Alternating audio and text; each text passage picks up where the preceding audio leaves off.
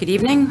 We're going to call the Town Council Committee of the Whole meeting to order for Tuesday, March 26, 2024, at 6:33. Um, All are present except for Counselor Merritt and Counselor Parker, who is going to be running late this evening because she is um, doing council duty at TVCCA. Um, We have calendar and communications. Um, Counselor Bordelon?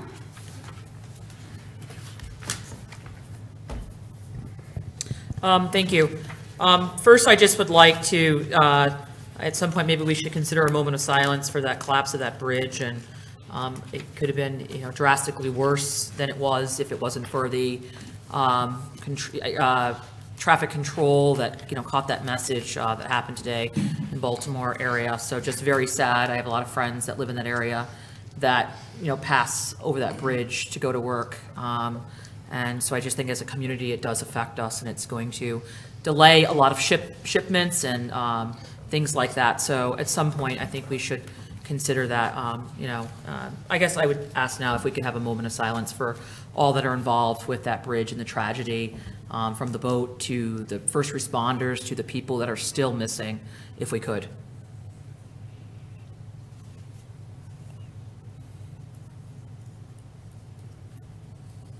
Thank you.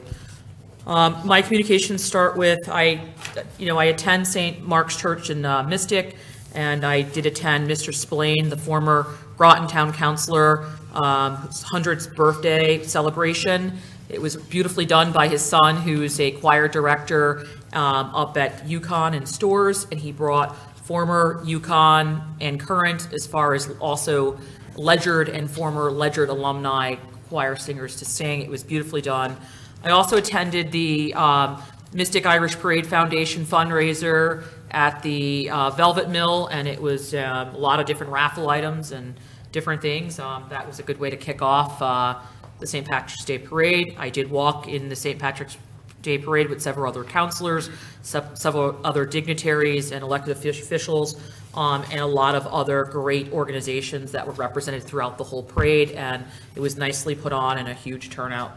Um, So it was almost, it- the rain ended, and the next day, the sky opened, and it was wonderful to be able to have, um, you know, mild weather, weather for that occasion. I also attended the uh, Fitch High School uh, cheerleading squad, um, were, you know, the winners of the state's tour- tournament, and they had a fundraiser as well, so attend that. Um, They had beautiful things that they were raffling off and trying to raise money for their next adventure. Um, So that was uh, really um, good, and I think those are my only, many communications about SB Butler, um, concerns with um, property use, concerns with, some people reached out to me, you know, not understanding the motivation for the letter sent to planning and zoning. Um, As I stated, I abstained. Um, But, you know, what's the motivation? More understanding needed on the direction of 20 acres to five, along with, you know, uh, increasing uh, modular home structures. Uh, People were just confused as to how that would look. Um, I think that is all that I have. Thank you. Thank you. Counselor Pacino? Thank you, Madam Mayor. Um, I got all the same correspondence that uh, everybody at this table has received in emails, and you certainly don't want to hear about my day-to-day, so I have nothing else to pass. Thank you. Counselor Rusk? Thank you, Madam Mayor. Um, I met with um, two residents regarding the sale of town-owned property. Um, I attended the guest presentation made by Carolyn Wilson of Ledge Light Health District um, on MADD Power of Parents and Project 21 overview.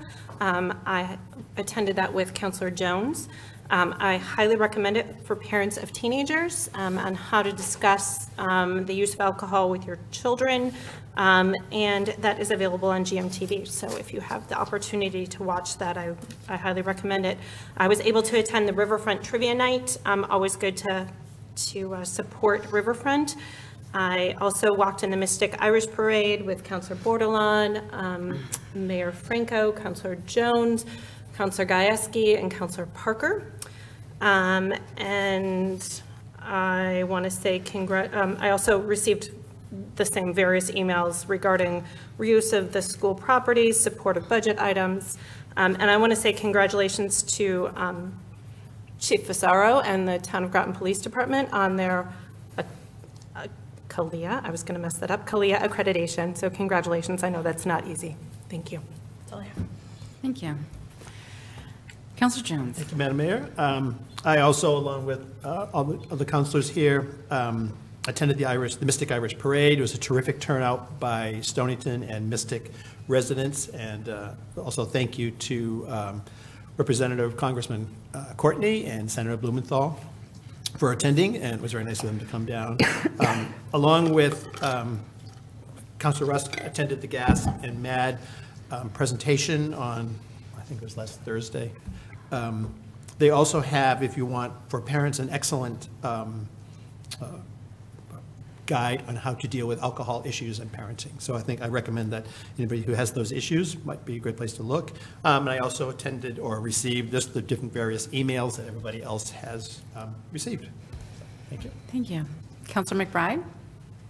Thank you. Uh, A little under the weather this. I apologize for not being there, so I'm going to defer my report until next week. Thank you. Thank you. Counselor Gieske? Uh, just, uh, a quick update, uh, the clock via my phone is not working this evening, so I will be using a remote, so it will be a little bit delayed, um, just so the mayor knows. And then, um, I also, I- on Sunday, I walked in the St. Patty's Day Parade, as previously mentioned. Um, Children First Groton will be having their second community cafe of the month. Um, it is at Thames River Magnet School from 5:30 to 7 p.m. The topic is mental health. Um, childcare is provided for those who need it. For the first 25 necessary, it can be found on their website. Um, and then uh, about two weeks ago, I attended a. Um, I served on a panel at Fitch High School um, talking as a, with- talking with fellow recent gradu, relatively recent graduates about uh, the process to applying for college, and it was good to be back at my alma mater. That is it for me. Thank Oh, and congratulations to the police department on their accreditation. Julia Parker has arrived. Okay, Counselor Parker has arrived at 6:40. Counselor Parker, do you have anything to report?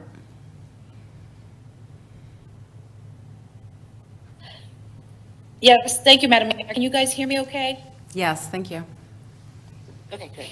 Um, I attended the trivia night held by the Riverfront um, fundraiser, and I walked in the parade with all fellow counselors and other dignitaries, and I went to the TVCCA meeting this evening, and Energy Assistance Program will be receiving some supplemental energy assistance program money.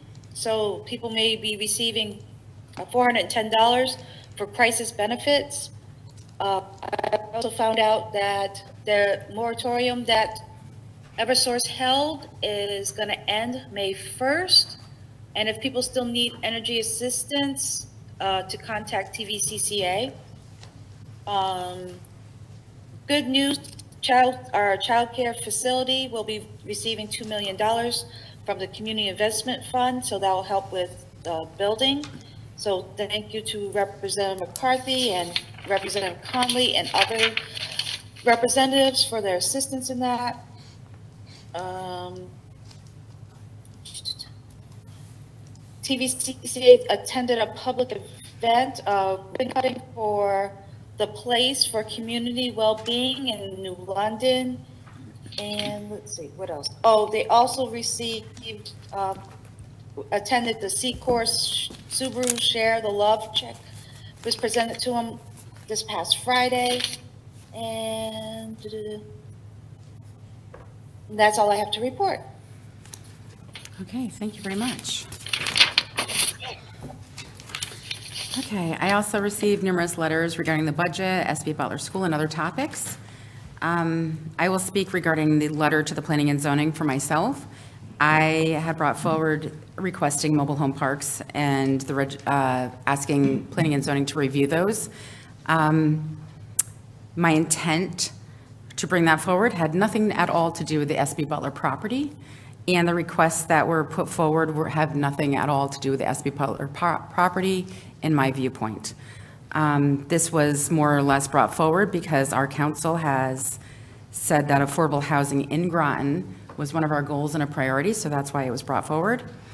Um, And it was also in the housing study, and that's what was passed to go to the town council for approval.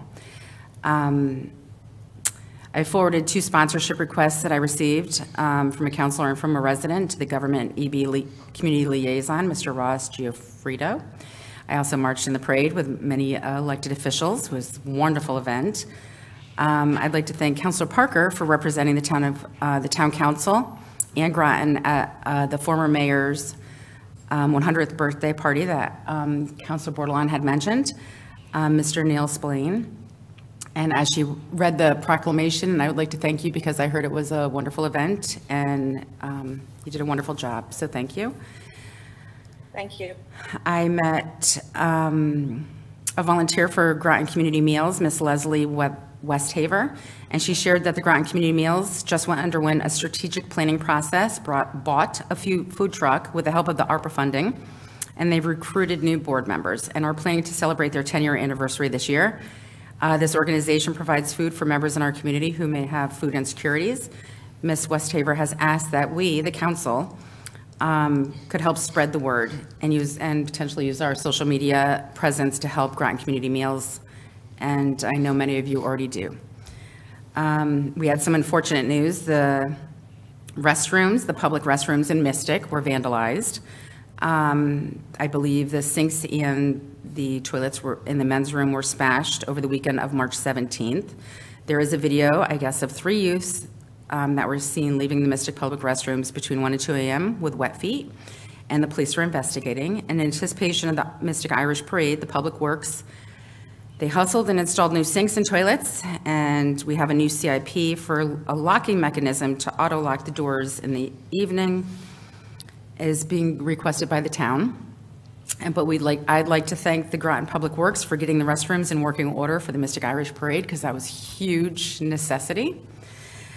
Uh, The police chief forwarded a wonderful letter from the Groton, uh, Groton resident praising Officer Potter and Farnsworth for their ability to use skill, skilled crisis intervention techniques, which made all the difference while dealing with um, a person acting very erratic. And the resident praised the officers for their professionalism and compassion. I'd like to thank Officers Potter and Farnsworth. Um, Another uh, police department happy note was the Town of Groton Police Department has passed CALEA accreditation. Um, and It was an extensive accreditation process. Um, Being accredited shows that our police department demonstrates a professional excellence in policy and practice. And once accredited, the process does not end, and it is a continuing quest for professional excellence by working towards compliance with all applicable standards, as well as any future standards put forth by CALEA that may be applicable to our agency. The accreditation is awarded for a four-year period, and our police department is required to maintain continuous compliance during that period.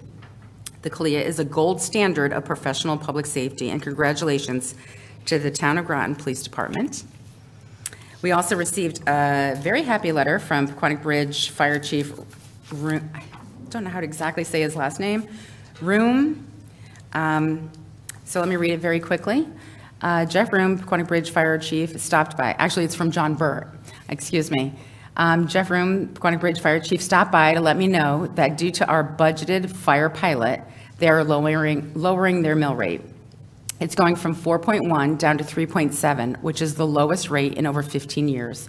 And he asked Mr. Burt to pass on, pass this on, um, pass on his and the Poquonnock Bridge Fire Department Board's appreciation to our council. And that's what I have for today. I just have a point of information or a Yes. question. Um, Regarding the bathrooms, um, what time will they be locked? Yet to be decided. Um, uh, We were thinking maybe from like midnight to six. I talked to Bruce Flax, the chamber director. He said this is common. He said he sees them usually more around nine or 10 start being locked. Um, You know, you know, obviously not till for a while after the stores close, but if you're out there later, you probably have access to a restroom in the restaurants and bars. So I- I'd want some input from the council before Okay. we decide. Yeah, I think that'd be great, because I know we did have someone come before us complaining that there were people urinating at the condos over there. and there wasn't enough restrooms at the um, other bar or restaurant, so I just get concerned that, you know, the access, but I do think it needs to be monitored, so I appreciate that. I look forward to having it come before us. And just mention, we had the same thing happen a few months ago there, so. The vandalism? Yeah, so we put in like a heavy-duty metal stake. They had to have got on top of it and jumped up and down to tear that off. Goodness. Okay, we're going to move on to approval of minutes. Counselor Parker, would you like to move the motion? Uh, One moment.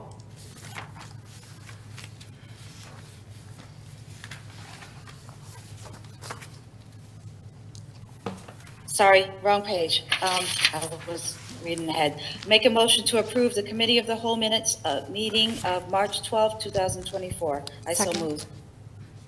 Moved by Parker, seconded by Rusk.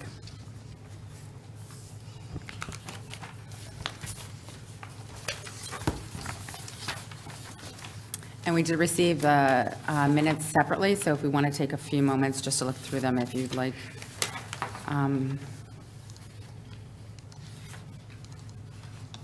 As um, Ms. Hilton is out of the office at this time.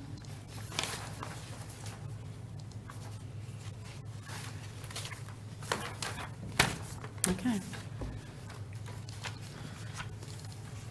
Okay. Let's bring that to a vote. All in favor? Aye. Opposed? Abstentions? I'll abstain, because I didn't have them ahead of time. Thank you. And McBride? Counselor McBride and Counselor Parker, I would like, um, just because you're remote, can I ask you um, to state your, uh, Counselor Parker, are you in favor? Aye. Counselor McBride? I'll abstain just because I wasn't able to see them, thank you. For my own fault, because I'm not there. Okay. That'll be six to zero to two. Moving on to new business.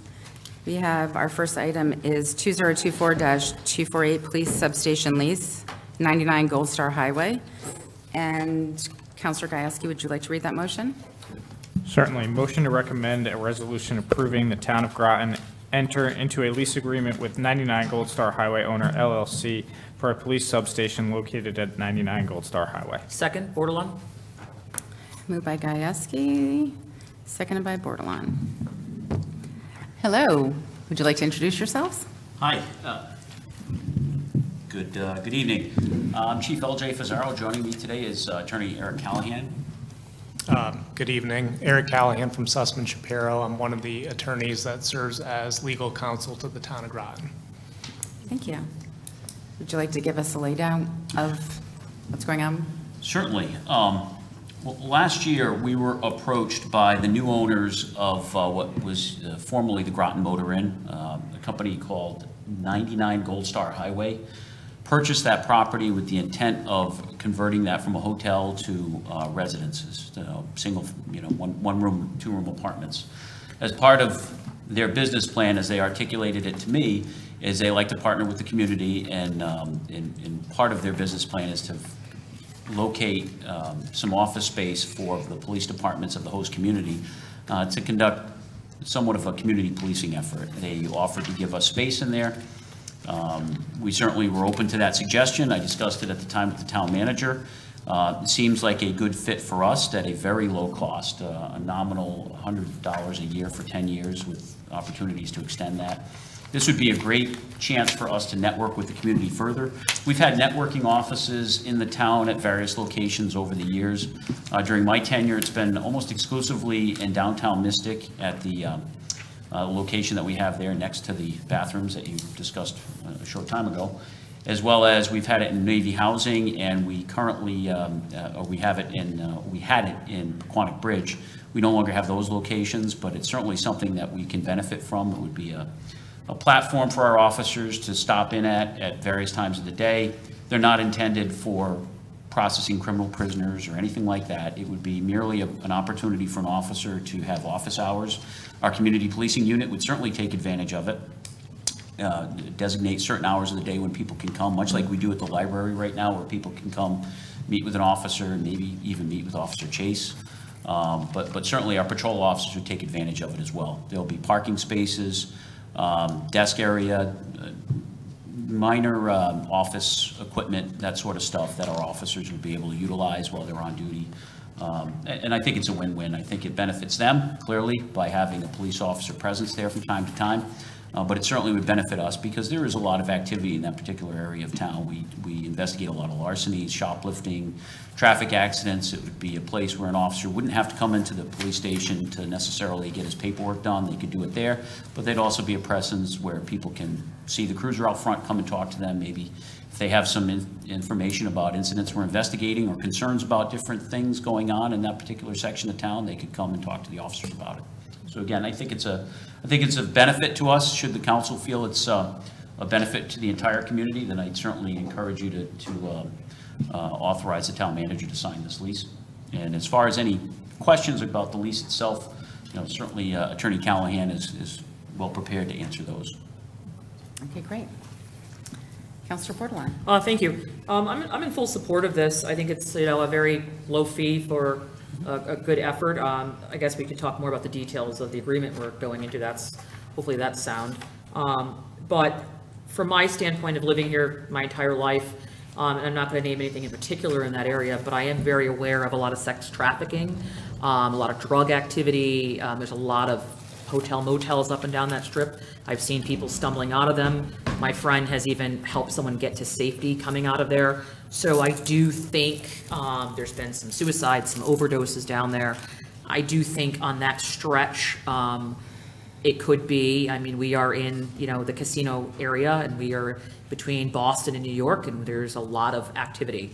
So I do think that we could benefit from having some type of presence, um, especially in that transient area over there on that, that one strip. So, um, so just from my basic knowledge of knowing, um, and seeing actually, you know, um, what's going on. I've driven down that way, coming home after, you know, a late marching band competition, and have seen a lot of different things just from a by- bystander who's not out late, happen to be passing off the highway at 12 o'clock in the morning, um, and, and have heard other stories from other people. So um, I guess I would just ask the Chief Rosaro, I mean, when you said activity, these are the things that I was thinking of is, um, you know, I've heard, you know, they- they've, they've rescued a young girl out of there one time that was underage, that was with a, uh, you know, a- a, you know, a suspect of sorts. And so, you know, I, I think this could help, and that's, that's my question.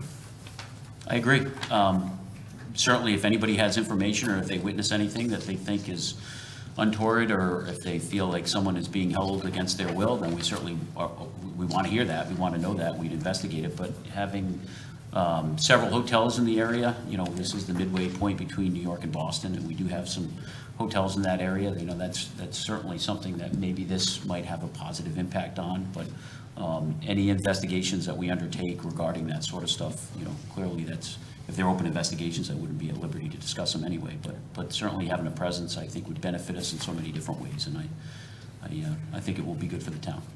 Yeah, I mean, I think that's um, very important, and if you have, you know, a concern in a certain area, I think having the visibility, um, not just from the community policing standpoint, point, but from, for eyes and ears, you know, it's, it's a major intersection off the highway, um, and having officers that could, you know, have different abilities to access whatever they need in that area could be very beneficial, so. um, uh, As far as the contract, I guess, to, you know, to the attorney, what, what, can you just kind of go over that quickly?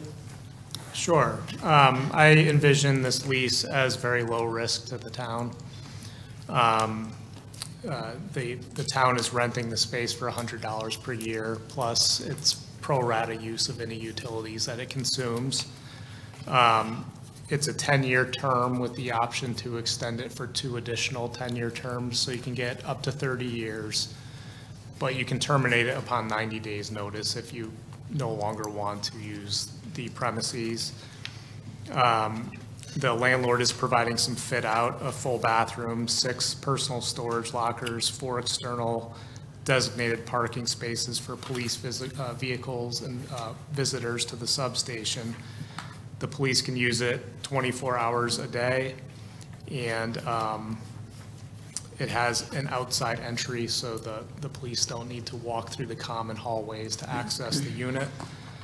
Um, The landlord will provide uh, for janitorial services and garbage, uh, a dumpster.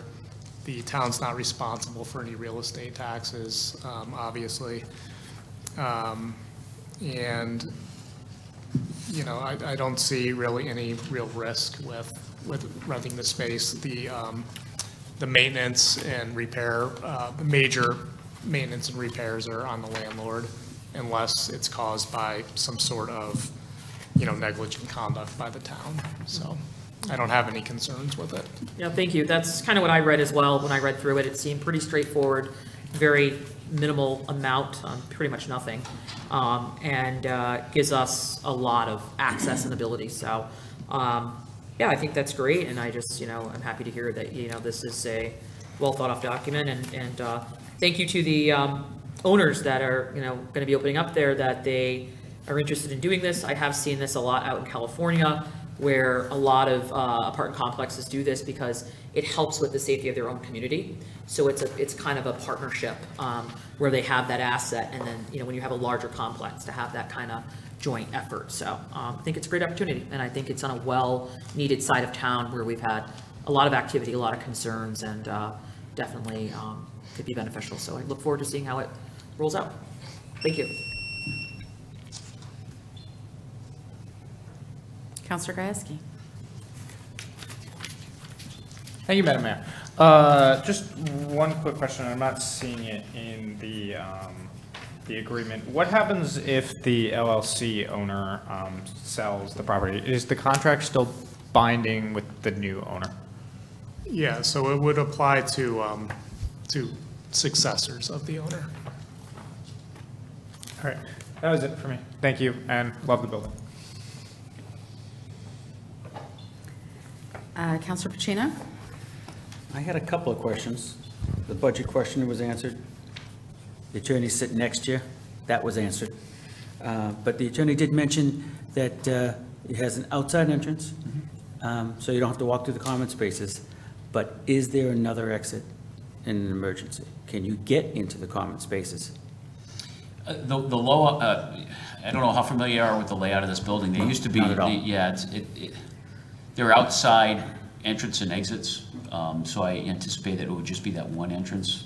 Okay. Um, Yeah, they haven't done the refit yet, so there's probably some, some changes that will happen along the way, but it's, um, you know, they, they exit to the outside parking lot currently, so I expect that they'd be somewhat similar to that. Okay. I'm sure whatever, whatever, yeah, clearly whatever applicable codes. I'd be concerned with, you know, somebody with nefarious, nefarious ideas.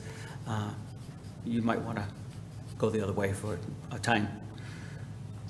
Yeah, again, we're, we're not looking to house prisoners or bring anybody in like that, you know, that would be a risk to others if, uh, um, as I understand it, and, and again, I haven't seen their latest revisions to their, their plans, but, um, I believe it's an entrance, exit right out onto the, uh, into the parking lot. Okay? You're safe with that? I'm safe with that.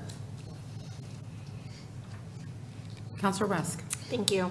Um, Thank you, Chief, for bringing this to us um, and for the explanation um, to both of you. Um, I'm definitely in support of a police substation. Um, I think it's a great part of town to be bringing the police into. Um, I always support community policing, and I think this is a great way to do that. Um, Couple quick questions. Does the town own the current building that the substation is in? The town, no, we do not. No, so it's leased. Is it a similar, Oh, I'm sorry, I beg your pardon. You're talking about this building? no, the current substation in Mystic? Does the town own that building? It's leased. Yeah. It's leased. Is it a current From the art or a, museum. I'm sorry, It's leased from the art museum. okay. Is it a similar um, agreement? Like, a- I, to be frank, I'm not sure of that agreement. I don't, I wasn't a party to those discussions when they took place many, many years ago. I, I think that they're probably somewhat similar. That would be my guess. I think it's more vague in that one, though, and the, uh, it's been in existence for quite a while, you know, since however long the restrooms have been there, too. okay. So- Okay, um, so couple concerns. So this is a property that doesn't currently have apartments, they're renovating it. What happens if that doesn't come to fruition? We suddenly have a police substation in a building that's pretty much vacant. I suppose that's possible. I don't think that would be in their interest. I, I think they, they want this occupied, that's their plan, and I think they've been, you know, I've seen some designs when we first met. Um, The representative showed me a lot of the the plans from other locations around the country, and they've been, they've been wildly successful. And I know with, you know, a lot of increase in workers at Electric Boat, I think it would probably cater to that clientele. But if, if someone, if it weren't fully occupied, we are entering into this agreement, and so long as they own it, I'd certainly defer to council on that, but I think we'd be, we'd be okay. Yeah, so um, the term of our lease starts when the landlord gets a certificate of occupancy for the work it's going to do. And if for whatever reason they don't, uh, they don't finalize their own project, we can get out of this lease upon 90 days' notice. And it- it's, um, it's no real risk in in that regard. Okay, so that was my other question. Um, The term is 10 years, but um, 2C says, basically, we can terminate the lease with a 90-day notice. Is that after 10 years, or is that during that 10 years? It's any time. Okay, Yeah. thank you. Um, I think most of the rest of my questions have been answered. It's a long document to read. Um, Nope, that's it. Thank you so much.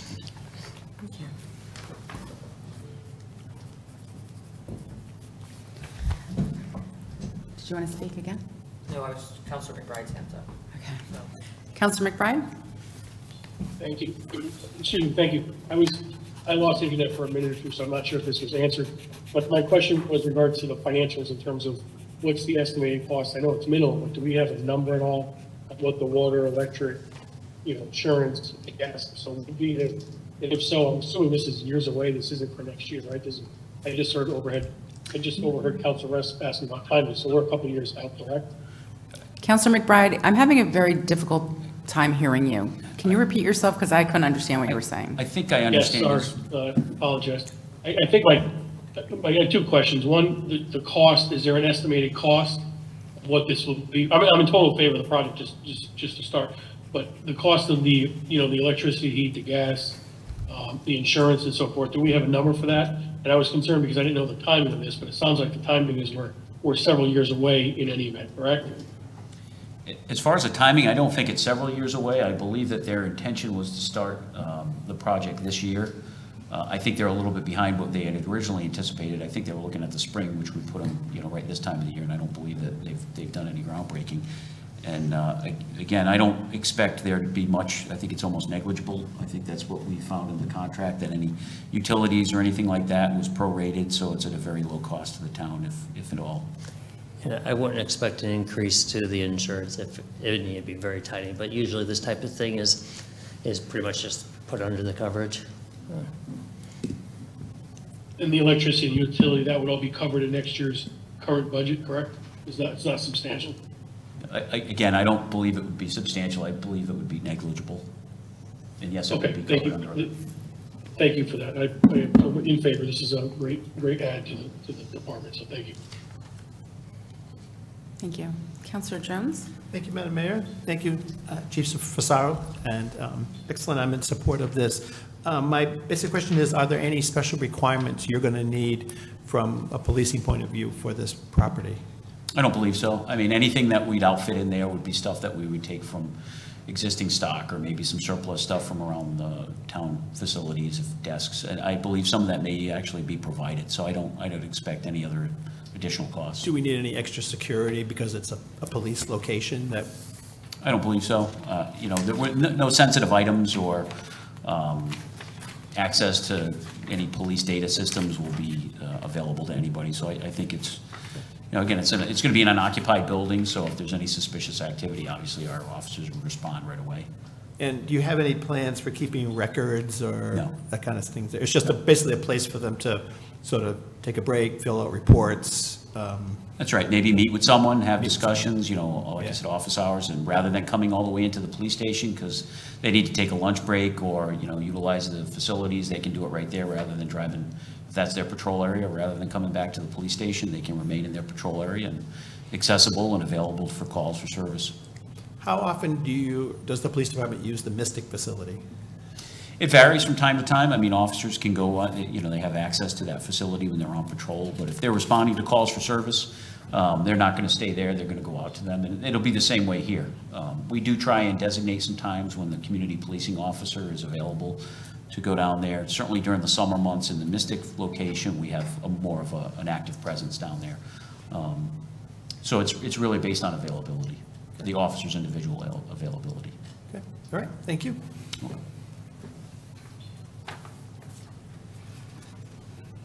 I am in full favor of it, and I think it's wonderful to have um, other locations where police can set up shop and maybe meet with people, and that, I would assume that if somebody on that side of town needed to maybe give a statement of such, you can meet there. It'd be a, um, a space where you wouldn't have to go into somebody's home.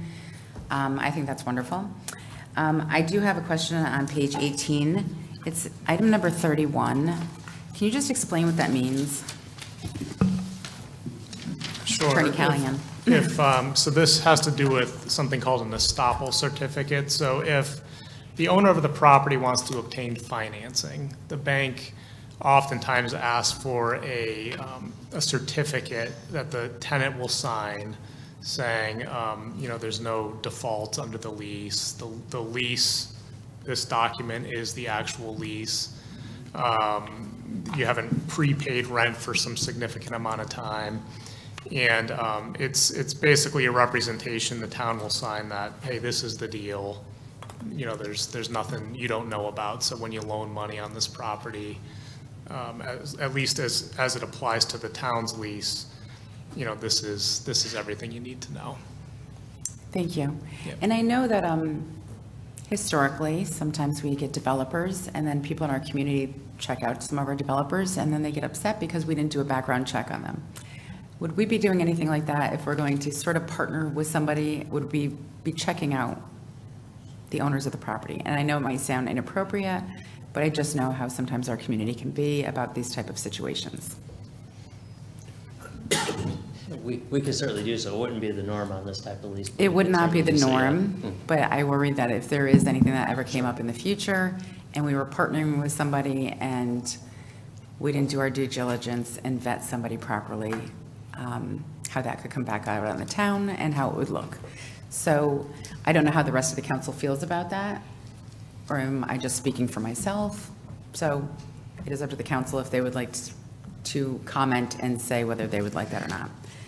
But thank you, I think it's wonderful, and thank you for bringing this forward and working with people in our community um, to make this happen. So thank you very much. Counselor Bordelon. Um, I think, you know, any good, you know, you're not gonna leave your kids with someone you don't know, right? You're gonna do a background check. We are talking about a police substation in a building. I think, you know, I think it would be, you- should know who your, your stakeholder is, who, I mean, it's only a monetary amount of money, but I, you know, we should know who you're partnering with. I absolutely would think that that would uh, be part of the process, uh, you know, just in good faith, um, to make sure that's what we want to partner with before just, you know, we're getting a great deal, but what, what's behind the deal? And I think that should just be uniform with whatever you do, um, honestly. in any type of partnership or type of agreement you would want to have, that's just my opinion. Um, My other question is, is, I know it was very welcomed back in the day when I lived in military housing. Um, There was a substation there. Is that substation still running? It is not. You know, we had it open probably five or six years ago at last time, and it's, it hasn't been open since. Is there a reason that it closed? I just, um, Yeah, it, sometimes they have a need for facilities and move things around, so it's not, um, you know, we had one there for a while, and and things have changed. yeah, no. I know it was very. No welcomed. aversion on our part. Yeah, no, it was very welcomed at the time. It was a great asset. They did a lot with like uh, car seats and things like that there. It was really very um, convenient and it was right in the heart of the military community and folks loved it, so um, that's all. Fortunately, this will be close by, so it's not. too And will you be able to do maybe, yeah, you know, car seats and things out of that Yeah, location? we haven't been doing those. Actually, the Groton Ambulance uh, has been doing them lately, but we'll certainly be able to do some community policing activities. But you could partner and, you know, you could host an event and say, hey, we're going to be here on this side of town and, Maybe, but you, you have to be certified car seat technicians, so we would, we would defer to them on that. right. But I meant when you're having your community policing events, you could invite, say you're doing some outreach and you're having multiple people there, you could invite the ambulance and they could be doing, you know, the, the certified folks could be doing car seats. It's another location to kind of, you know, get into the community a little bit. Sure, So there we could be some partnerships, yeah. All right, thank you. Would anybody else like to speak on if they would prefer a- the background review? I'm not objecting to a background. You're check. okay? That's fine.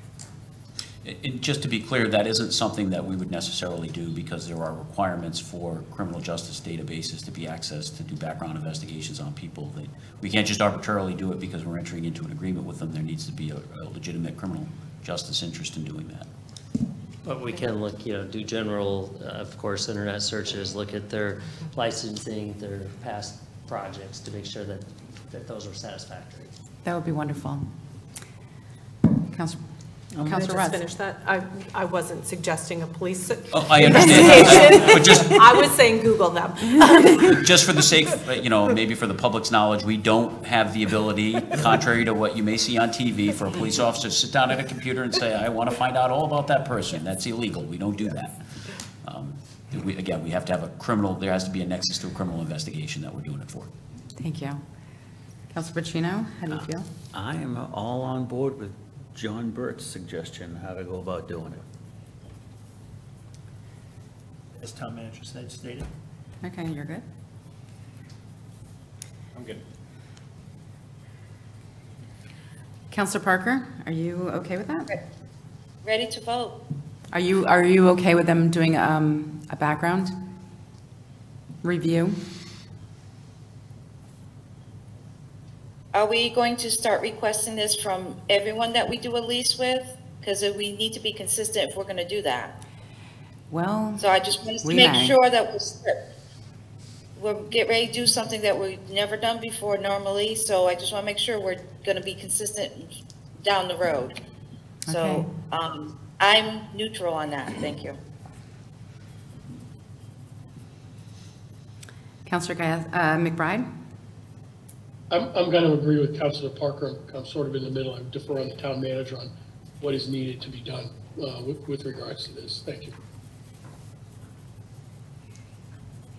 Okay, I think you have direction. Thank you.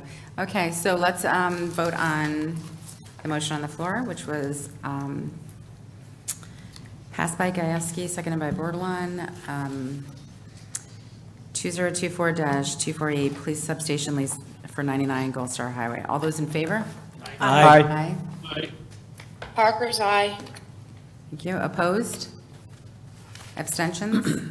That passes eight to zero to zero. Thank you so much. Thank you very much. Thank you. Have a good night. Thank you, you too. Up next is the 2024-234 American Rescue Plan Act Human Res, Human Services Allocation. Um, Counselor McBride, would you like to read the, the motion on that?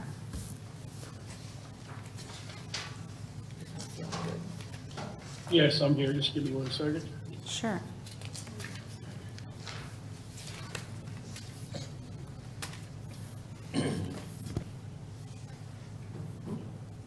Motion to, excuse me, recommend a resolution approving fifty thousand to be allocated from the American Rescue Plan Act Fund to the Human Services Department to be utilized for mortgage, rent payments, and utilities for those that have been financially impacted by the COVID pandemic.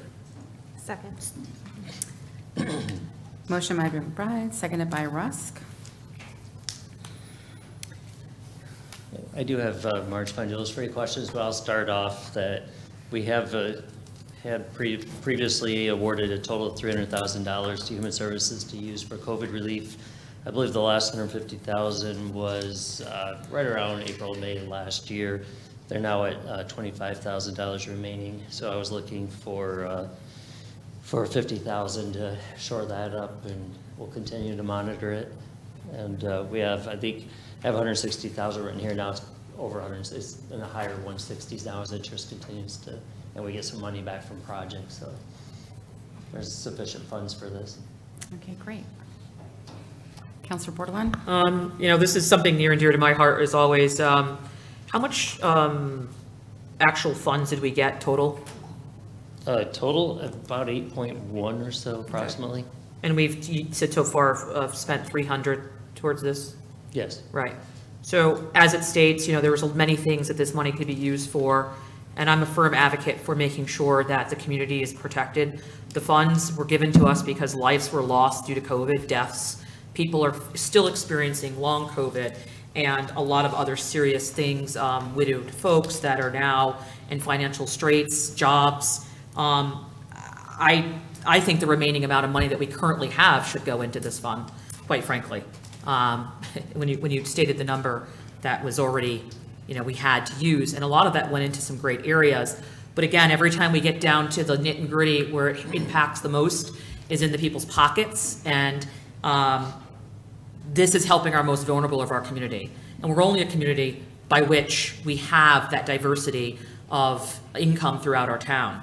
So I just, in good faith, feel like we should give more. So I'd like to make another motion. I'd like to make a motion to allocate $100,000 of that 160 that's left, leave the 60 in there as other money trickles in and we can reassess.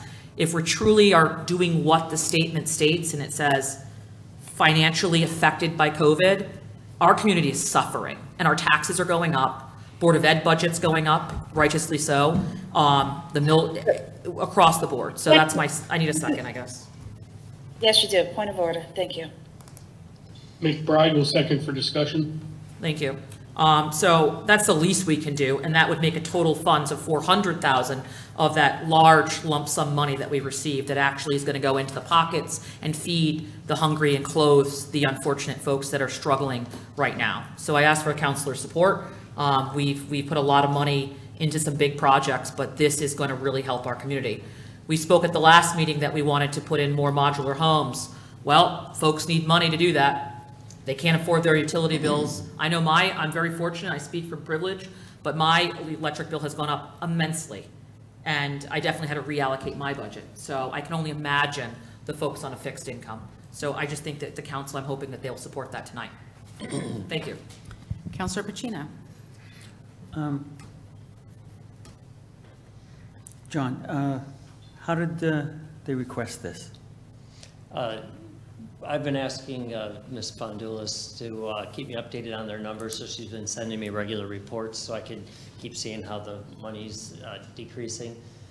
So uh, as I, as, as it started getting down, um, you know, I hate to use up all our money. I'm not, I don't have an issue with 100,000 as long as we keep 60,000 back, but really it's just a guess, like, you know, we, I, we have margin on the line, you know, if she thought, I- I'm assuming we would use all that, but I'd like to have Marge confirm that.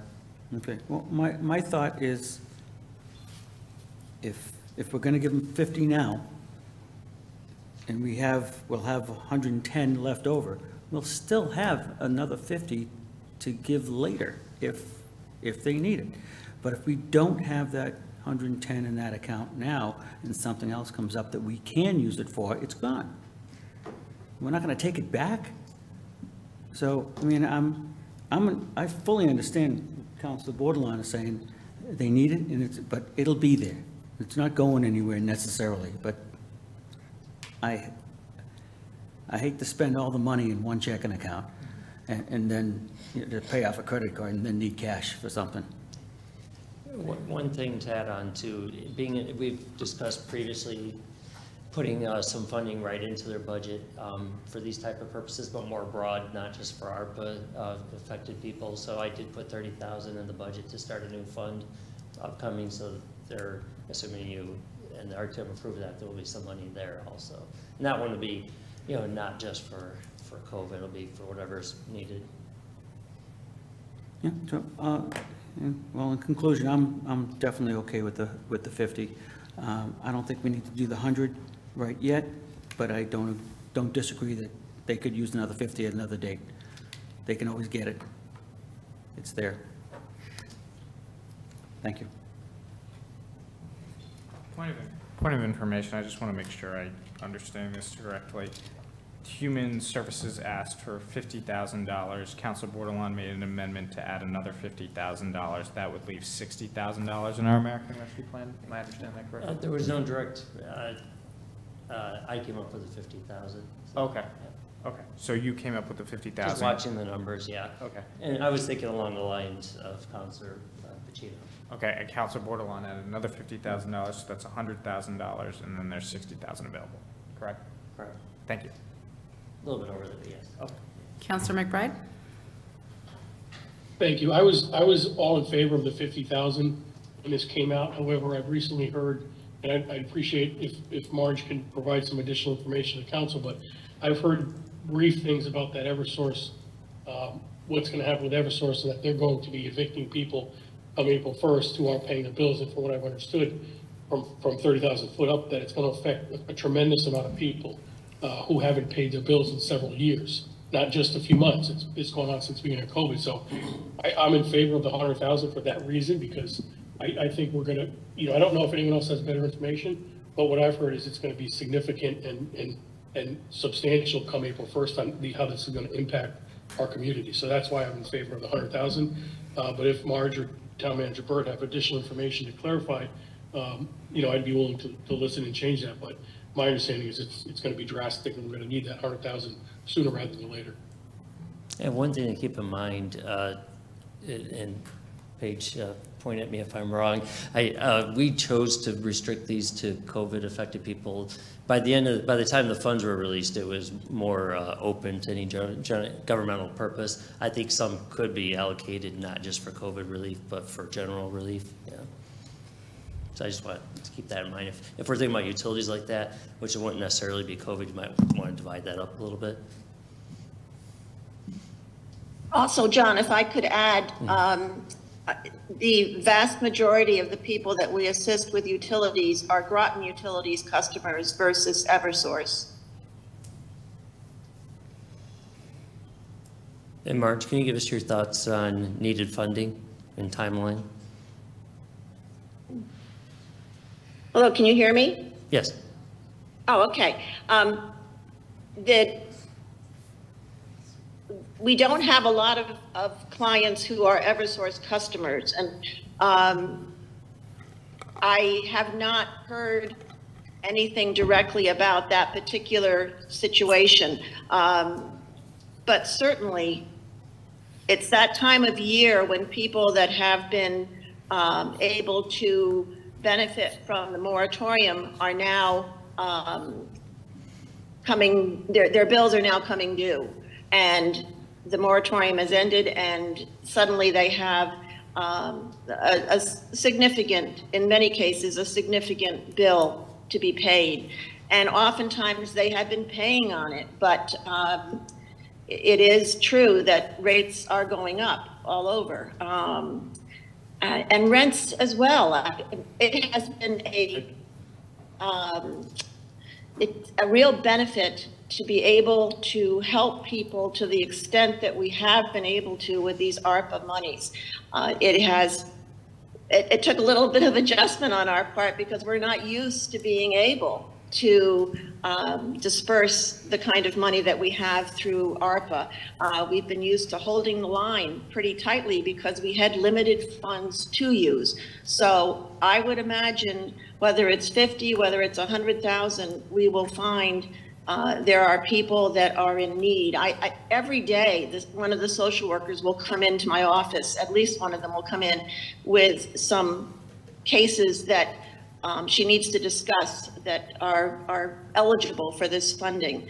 Um, there, there are still many people that are uh, recovering from the um, problems that occurred during COVID, and they're still trying to catch up on the bills that they incurred during COVID. So whatever amount we receive, I think will be certainly a blessing.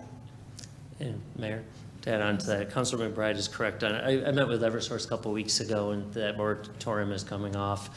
They have reached out to everybody who owes uh, money to offer different payment plans. They said there's about 10 to 15 percent of the people who haven't replied. They're not just saying they're not going to be cut off at that point. They'll still be given a chance, but they have been working with customers. But that is coming, and they are looking also at that a 20 percent increase in their rates. So.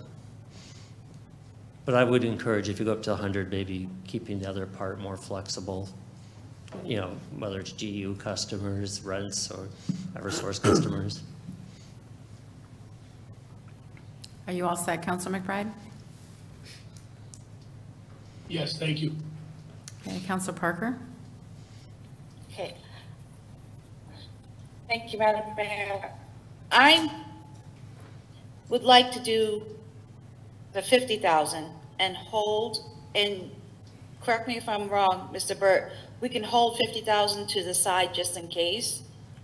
You can, and still watch how it goes? Because I believe in talking to TVCCA tonight, they meant, they did say, and they spoke with Eversource themselves, that it was ending May 1st. So April 30th is going to be the end of moratorium. It'll start kicking in May 1st. So I know people are watching this, and this might be where possibly the council says, hey, we need to contact our legislators to make sure that our people are not going to be cut off on top of the 20% that they would possibly have to pay. Right now, I'm at only the 50%, so until we can decide, I know we have until June 30th to expend the funds, if I'm correct on that, Well, you- Mr. Burt? they have to be allocated by the end of '24, spent by the end of '26. Okay, so we're okay if we hold on to the rest of the balance and then play it by ear because something else may pop up that we may need to do something, an emergency contingency. And I want to be on the safe side of having it there so that we can fall back on it. So that's my two cents. Thank you. Thank you. Councillor Jones. Uh, Thank you, Madam Mayor. Um, Mr. Burt, you had said you were, you've been watching this account just to kind of Yes. see where I want to make sure that there's enough money there to help people. to kind of help people. How many other accounts are you sort of keeping an eye on that? Uh, they, they don't have much else. They, you know, they have that, the Flora Perkins Fund, that's about ten thousand this year for, that, I think, Marge, is- I think you mostly use those for rents, is that right? Correct. Yeah. Um, they don't have much else. So my question was more of how many other, like, here you're watching um, Human Services. Are there other? This is the only one? I'm concerned about. This is the only like one that you, yeah, that you, yeah. that you watch? Okay. Um, I think I'm along agreement with Councilor Parker on the original 50,000 and then just sort of allocate or hold off on the side the other 50, um, just so we have enough of a balance there to um, be able to have some flexibility to do different things. So we can still allocate the money at some point. We have plenty of flexibility. We can always bring this up. Um, But I think having um, just a little more money in the back is a good place to be, and we can certainly move it when we need to. So, thank you. Counselor Brusque. Um, uh, Just in full transparency, I want to um, disclose that I do work with Groton Human Services with their food pantry. We're not talking about food, so it's not a conflict of interest, but I just wanted to um, disclose that. Um, I am leaning, well, okay, first question. You said um, it needs to be allocated by the end of 24, FYE Calendar. 24 calendar. Thank you, that's what I needed to know. Um, So I feel like we still have time um, to allocate another 50,000. I- I'm not opposed to allocating 100,000, but I feel like, let's start with 50. Let's, you know, kind of earmark another 50 as possibly needed um, and come back if it's needed. Um, If it needs to go someplace else, um, then, then we'll look at that. Um, But I am going to support the $50,000 for now um, with the understanding that $50,000 more may be needed in the future. Counselor Bordelon. Uh, Again, what was that number that you said we got in funding? Total, I think, believe it was about 8.1 million. $8.1 million came through this council, and we sit here and we're grappling over $50,000 to go to our human services and say, well, let's just earmark it, maybe they'll need it. What's currently in the account now, the leftover that we've used for, in this account that you've been watching? In the, in the. Correct. It, uh, tw- about 25,000 last report. Okay. So we're, we've got twenty-five thousand dollars left in it. We're putting a mere fifty thousand, and folks won't budge for another fifty thousand. But yet we say we're up here to do the people's work and help the people, in my opinion, this money needs to go to them. Why wait? What emergency is gonna come in? It's a whopping hundred and sixty thousand dollars sitting in there. That's not gonna do much. What are we, what are we, what are we stalling over? Do we, in my, in my opinion, we, we should be putting that money to help our residents. And, and by the end, there's no telling that we will be a council up here when it's finally allocated at the, at the end down the road. So why wouldn't you want to help the people now? Lock it in. Show your commitment and, and, and make it go into that account now. $50,000, that's all. Out of that large number that we dispersed throughout our community, and we've only given 300,000 of that thus far. We do not have a soup kitchen. We have a community meals and we have other churches that step up. We don't have a shelter here. We also have, you know, the resiliency talking about we're in a heat crisis and people can barely afford to buy an air conditioner or keep it having run. Moving uh, another $50,000, I do not think we're that tied up. How much is in our, our, our open fund account that's got, that's sitting there? What do we currently have in there today? Remaining ARPA, that's not. No, not ARPA, our, our, our rainy day fund, as some You people mean call our it. general fund, fund Yeah. balance? And the uh, $32 million raise. Right. About 21% fund balance. Okay, say that number again for me. About 32 million, We somewhere have in that ballpark. thirty-two 31, million 32. dollars, and we're worried about a whopping fifty thousand dollars. I've been on this council for a while, and I've been on the RTM for a total of six to seven years elected, and every time we get to outside resources, when we do the big budget, watch, it's barely twenty thousand dollars, and it takes the longest to go through, but we rip through everything else with all these other percents. When we get down to outside resources, rate crisis, food and insecurity, we sit here and go back and forth saying, oh, well, it's an outside resource, it's not a Groton, Groton place. We don't have these resources here. If you become homeless today, we have no shelter, they go to New London. We have a chance right now to lock in an extra $50,000 for our most vulnerable people, and we're sitting on 32 in the account, and here we are, we can't even move it. I encourage this council to pull together and lock that money in and give these folks what they deserve. Thank you.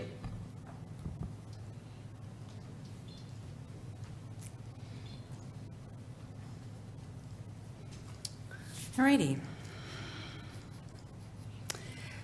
And that's speaking from passion, not Uh, anger. Director Fondulis, can you tell me, do you have other sources of funding also besides the ARPA funding?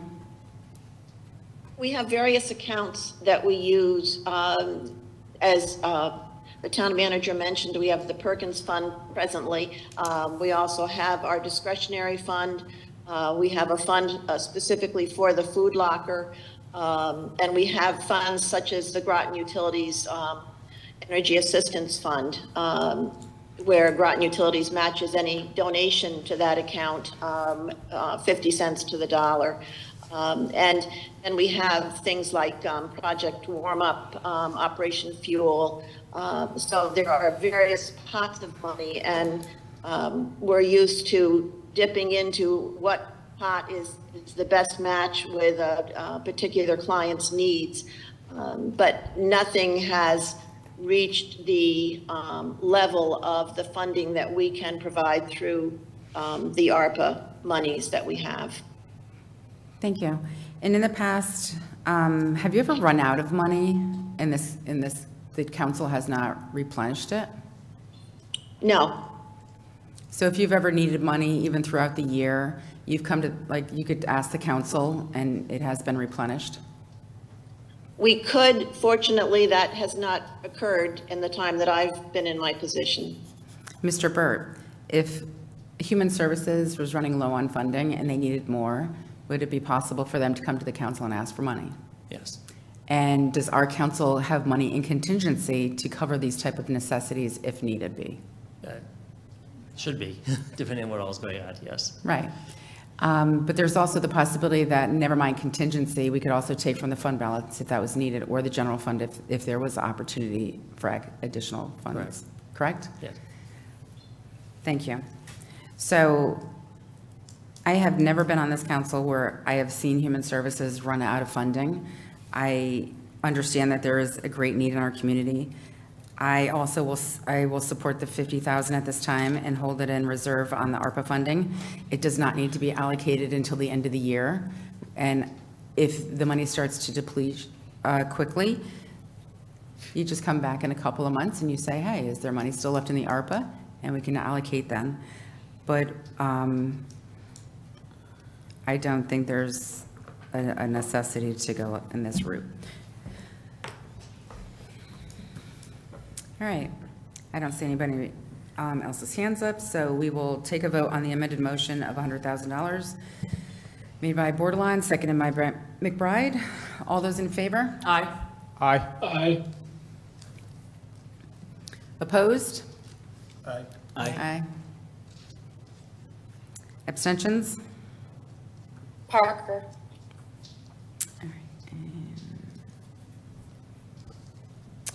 That fails three to four to one.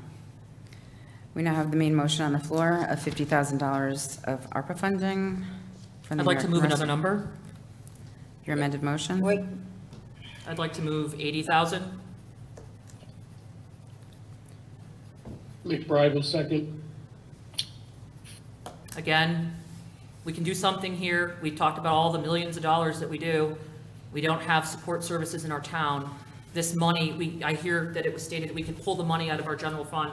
Why do we want to make our mill rates and taxes go up and pull money out of that? Uh, Well, take it out of money that we've already allocated into that for other things. When we have this money that's earmarked, basically set for a purpose like this, that should be used for that. And that would be the purpose of locking it in again, I asked the council to look at that, and it's a matter of locking it in for the community. Telling the community that, you know, hey, we're, we're setting this money aside, we mean business.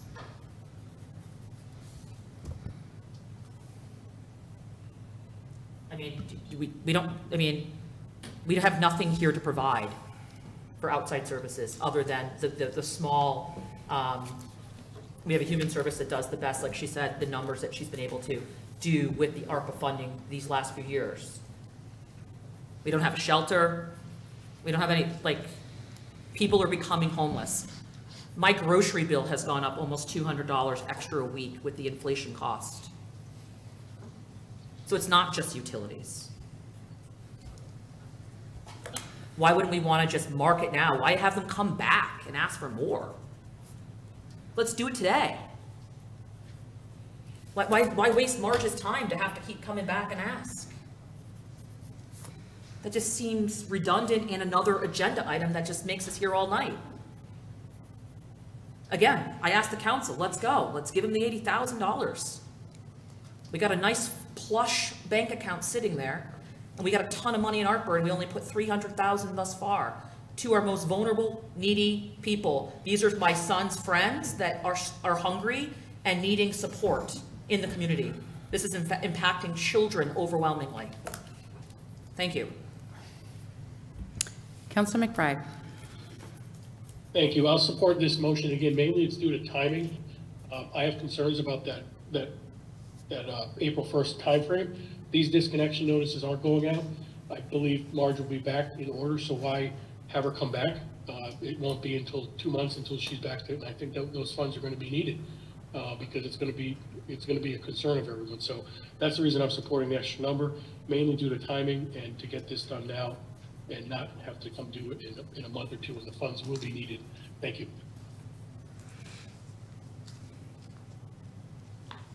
Counselor Parker? Thank you, Madam Mayor. So as I stated in my commun, my communications report, people still can apply to TVCCA for energy assistance. They just received a supplemental of $410, $410 for crisis prevention. So I'm saying go to TVCCA and look up the energy assistance if people are having problems with their energy assistance.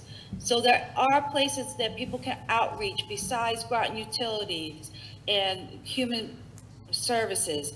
So there's other places to help supplement things where we can. We're doing the best we can at this time. Yes, we've allocated every single dollar and left some over for emergencies. I'm still gonna stick with the fifty thousand. Thank you. Councilor Gieske?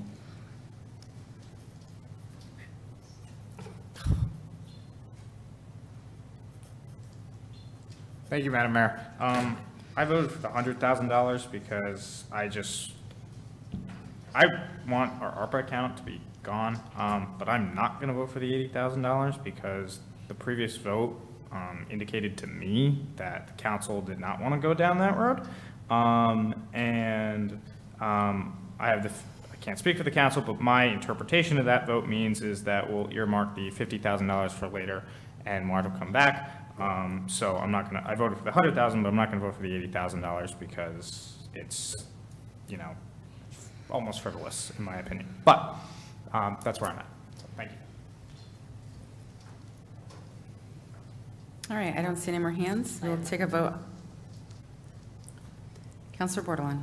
Um, I don't consider 80,000, with all due respect to Counselor Gieske, frivolous when we're talking about. Counselor Bordelon, please do not speak directly to other counselors as such. Okay, I'll speak out. I do not think $80,000 frivolous when we're talking about the lives, welfare and well-being of counselors. So it may be $20,000 less, but our community is suffering. And I directly talk to these individuals in our community on a regular basis. And there's only so much that they can get. Mrs. Fondulis has stated that she would find ways to utilize this money. Like, it's needed. So again, if the council doesn't want it, and you're just gonna kind of, uh, I guess the, the town manager earmarking it, what are we doing that puts a, there's no vote on that, so it's not binding, correct? Because you can't earmark something, like it- set it aside. That's not even Uh, Basically, politically you know, correct. Mayor, would you like me to? I can respond. If we, if there, if there is 50,000 taken out of that account, the remaining will be sitting there, and this council knows how much will be remaining. We will vote on how to spend the remaining, and we- we'll have to do it by the end of the year. So we know it's in there, and we- it will be voted upon. Right, but I, I, I just might, so we'll just like pretend that we are holding fifty thousand, but we're not sending it now, but maybe we'll send it later and we'll decide later. Like, I just, I think that's, I don't know. I consider that frivolous, in my opinion. Point of order. Your point of order? I- I'm, Counselor Bordelon is speaking for other people and speaking disparagingly, disparagingly about them, and that is out of order. I would agree. Can you please just keep your comments to the topic that you're trying to discuss and So, not um, speak about other counselors? Thank I'm you. not speaking about any counselor, I didn't say any counselor's name. I used the word frivolous, which was used, and it was not point of order, and so I think that not allocating this money is frivolous, which I have a right to say. That's me speaking, that's what I said, I didn't say anybody's name. So if the word frivolous is a problem, it should have been point of order before. So I, I think that not allocating money would be frivolous. Thank you. Counselor Parker, your hand is up. Would you like to speak? Motion to move the question, the previous question, please. Second. Motion. All right, move the question is on the floor. Made by And Parker. Madam Mayor, it's two-thirds votes. Seconded by Gieske. All in favor? Aye. Aye. Aye. Aye, Aye, Parker. So we have one, two, three. I don't know how we're voting, I don't understand the question. Moving the question, so we vote on the actual. Oh, yeah, aye. Okay. Opposed? Aye. Abstentions? Counselor McBride, I'm not sure how you voted. I voted aye in favor of moving the motion. All right, that passes, seven to one to zero. The question is moved. We are now voting on the $80,000 amended motion made by Counselor Bordelon and seconded by McBride. All those in favor? Aye. Aye. Opposed? Aye. Parker, no. Abstentions? That fails two to six to zero. We now have the main motion on the floor, which is $50,000. Aye. Oh. Yep. Oh, I thought you called it, sorry. All those in favor? Aye. Aye. Aye. Aye. Opposed? Abstentions? That passes eight to zero to zero.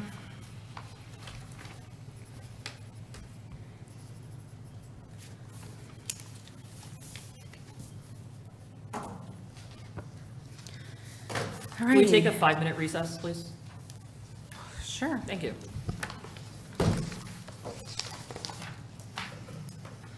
Recording stopped.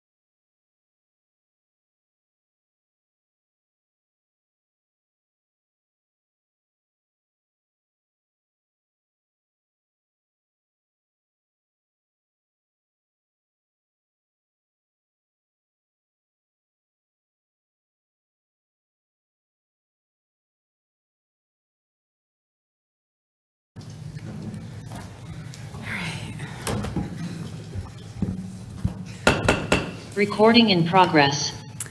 We are back from break at nine, oh, I'm sorry, 8:01. We had, just for the record, we had started our break at 7:47 and we were back at 8:01. Thank you. And um, up next is Economic Development Commission update, number 2024-261.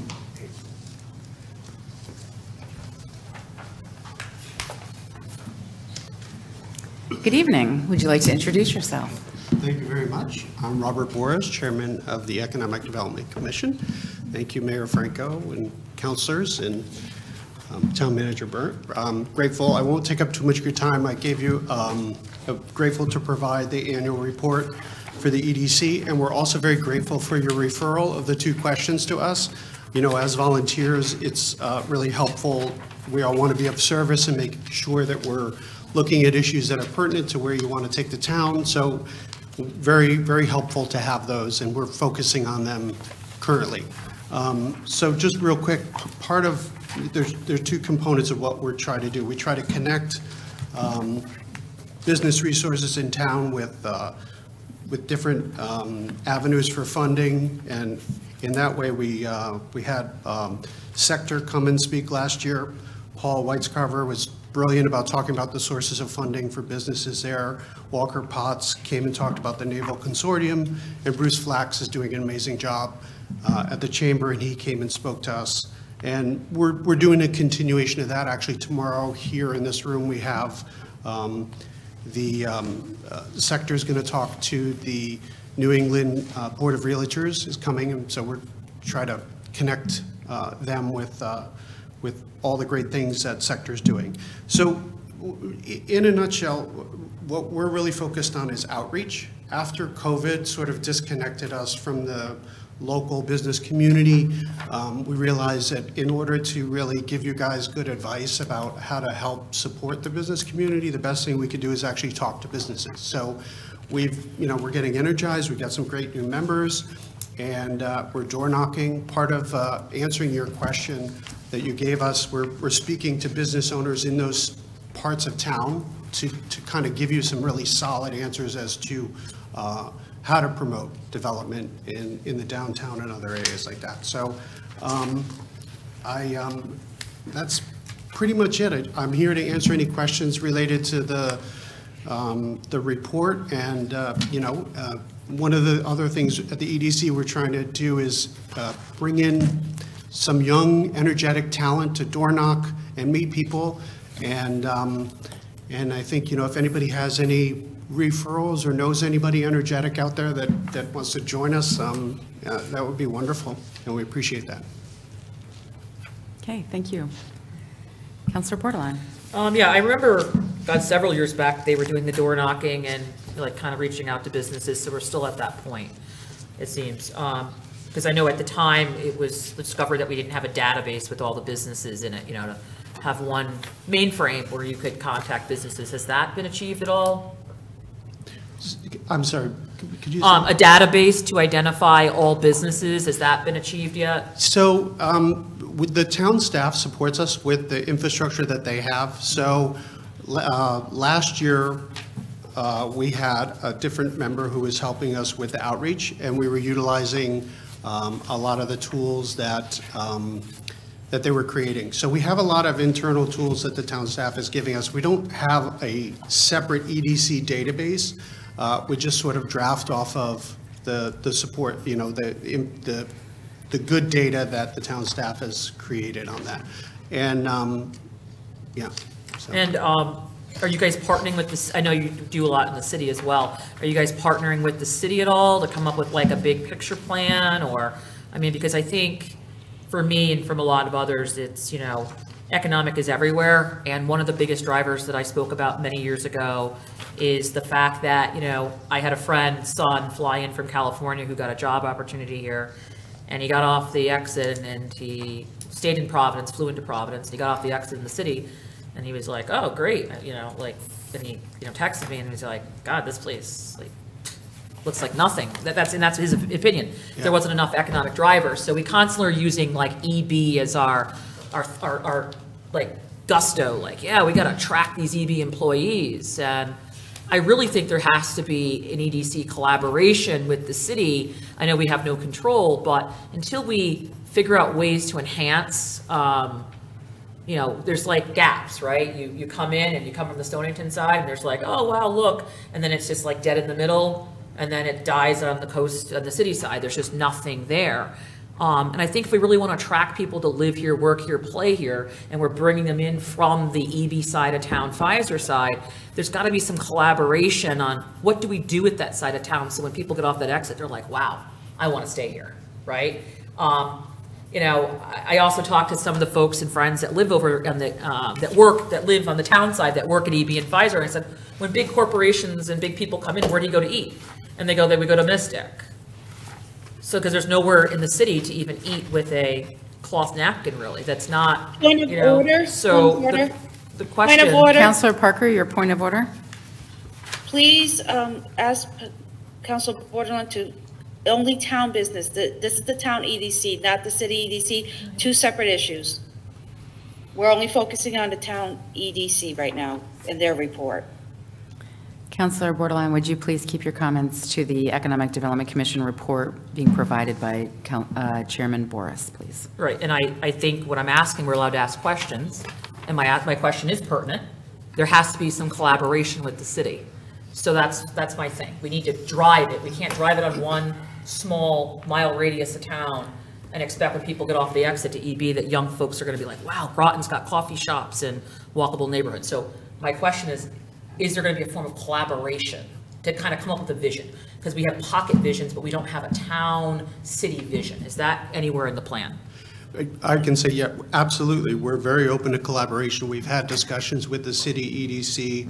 Um, You know, frankly, one of the things we struggle with is, and I think a lot of boards and commissions are like this, we, we need more volunteers. We need more diversity. We need more voices. We need more, we need more bodies to reach out and uh, get involved in subcommittees.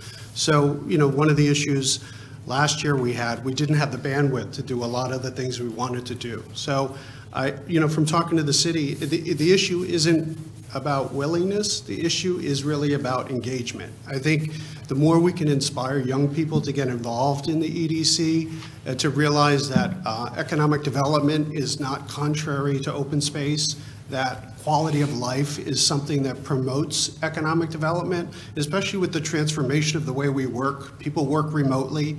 So a lot of the, a lot of the attractiveness of our area is dependent upon having beautiful spaces, open spaces, and a synergy between small businesses and large businesses. EB is important, but, you know, there's a lot of small businesses here that we need to help promote. There's a lot of entrepreneurs that need to know that there's resources available here to start their own business. So we, we're open to collaboration. There's no, I haven't met any resistance from any entities in the city about that. It's just really manpower, you know? And that's why I'm really grateful that, that you all gave us some direction on what to work on, because there's nothing more inspiring, like I said, than, than working on something that, you know, you've, you've chosen as a topic, rather than us, sometimes we can sit around and debate and discuss things, mm-hmm. and they're, you know, they don't, they don't translate into action. So you gave us a, a good marching orders, and that's greatly appreciated. But to, to answer your question directly, absolutely, collaboration with anybody, anywhere. Yeah, and, and the reason it's pertinent that I brought up the city is because, you know, from the town side, when we look at housing and development, we're looking at economic development, we look at our city drivers of employments as our big ones. And so that's why I was thinking, if those people are getting off the exit and they're not seeing that wow, you know, why do I want to stay here, play here, work here? You know, you, you gotta, we gotta drive it. So anyway, I appreciate that, and I do encourage, yeah, people gotta get involved and be a part, and I thank you for your, you know, volunteerism, and, um, you know, but I do think there's a lot of work to be done here in the town of Groton. Thank you. Thank you. Councilor Jones? Uh, Thank you, Madam Mayor. Thank you, Chairman Boris, for all that you do and uh, being involved around the community. I see you in lots and lots of places, so uh, thank you very, very much for, You as well, thank you. for for serving the town. Can you just remind us, or re-remind us of the uh, marching orders that we sort of gave you, the the questions? Yeah, to look into uh, downtown Groton and uh, more broadly, um, to promote uh, the, I have them right here.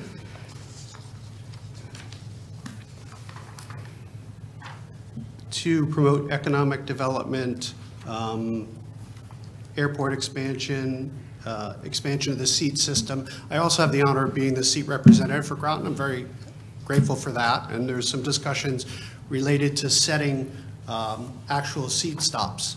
Um, So we'll be discussing that later. I'll be briefing you in that capacity later on.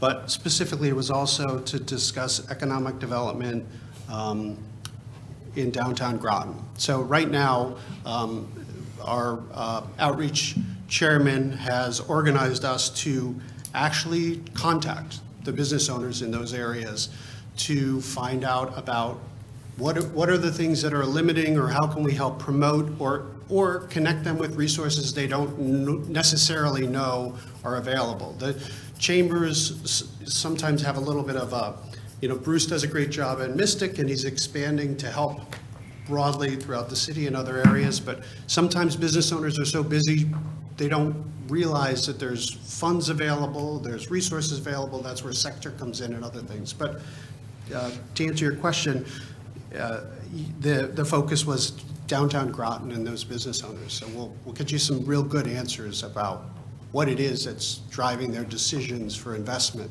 and job growth. Have you seen anything sort of bubbling up initially in your initial surveys and talking to people that you're sort of seeing a pattern that's, that's coming up that people are looking for, business owners? Generally speaking, so far, it's sort of a disconnect of information. So, uh, like I said, it's primarily, uh, the business owners we've spoken to um, don't realize there's resources. You know, people, you know, usually you go into, typically you start a business and you, you realize what you're getting into and you sort of plug along and you make the best of it. And Groton has a lot of resources for, for those business owners, and they're not used to having to rely on that or, or whatever. But in terms of development, there's a complex number of, of issues related to, you know, actual housing and all those other things. And I think one other thing I want to mention, one of the things we're, we're focused on in that is um, the uh, POCDs coming up. So one of the, because we're so focused on outreach, communicating with the um, members of the community, letting them know that they're, they can give input into the POCD and how important that document is into decisions that are made about housing, where development goes, and sort of, it sort of goes hand in hand with outreach. So um, that, yeah, that's what we're trying to inform, and, you know, uh, the other thing is that there's the community conversation workshops that the town is giving. There's another one uh, on Thursday night, which is brilliant. I know I saw a lot of you turned out for the first one. I thought it was fantastic, and I, I know a lot, I'm an egghead, I, I like data. I know a lot of it, but I thought the first presenter was very charismatic, and a lot of this stuff is really helpful because the more informed people are, the more trust they have in the decision-making process and the oversight, uh, and the more willingness they are to uh, contemplate, you know, development in areas. They understand the reasons why. When you, when you don't have the education behind it as to why you're doing something, there's a lot more resistance. So, so it's, it's very logical. Can, you, um, just two final questions. One, can you just tell us where tomorrow night, or Thursday night's presentation is and what time? That is at, um, Is it still the Nautilus or is it different? Marine Magnet. Magnet School. 545 at Magnet 5:45. School. Yep. Okay. Marine Magnet School. And then uh, the second question is, you mentioned um, there are a lot of town resources that are available. This is a great place to sort of say what they are. Could you just say two or three of the resources that you would say these are ones that business owners should take advantage of and use? Well, it- I prefer not to misspeak on it. That's why I have seCTer come in and speak specifically related to what funds are available for what, um, what different grants at, at different times. Okay. So I, I don't have that information at, you know, handy. But like I said, tomorrow morning at 9 o'clock, there's donuts and coffee.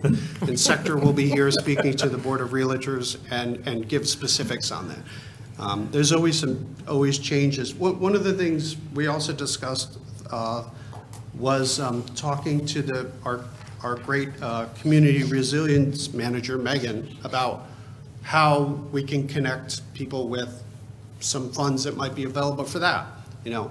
So it's, I, I get, the major theme of this is we're focused on outreach and being a connector to sources of funds. So the more we can do that, the more we feel we're adding value. And then, of course, your referrals and, and giving you back good data uh, related to, you know, what's, what's driving downtown and other, other investment. Okay, all right, thank you. Thank you. Councilor Bordelon? Yeah, so I know we had a, we hired a consultant, right? Was that a consultant we hired, John, that came to the Benny's Plaza? Forget his name. Yes. Yeah. Is he still work, does he work with you too a little bit to collaborate? That's my first question.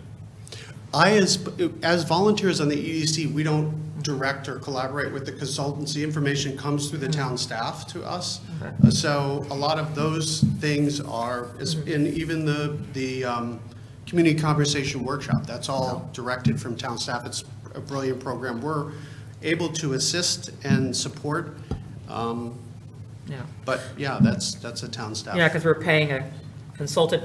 Um, And, you know, what I've heard from a lot of folks is there's a lot of just formerly developed buildings and owners, I'm speaking louder so I make sure I can hear you, so I'm not trying to be rude. I- I'm just making sure, sorry. Um, That they, um, they're just sitting there. And people are saying maybe they need to revitalize them to attract businesses to come in.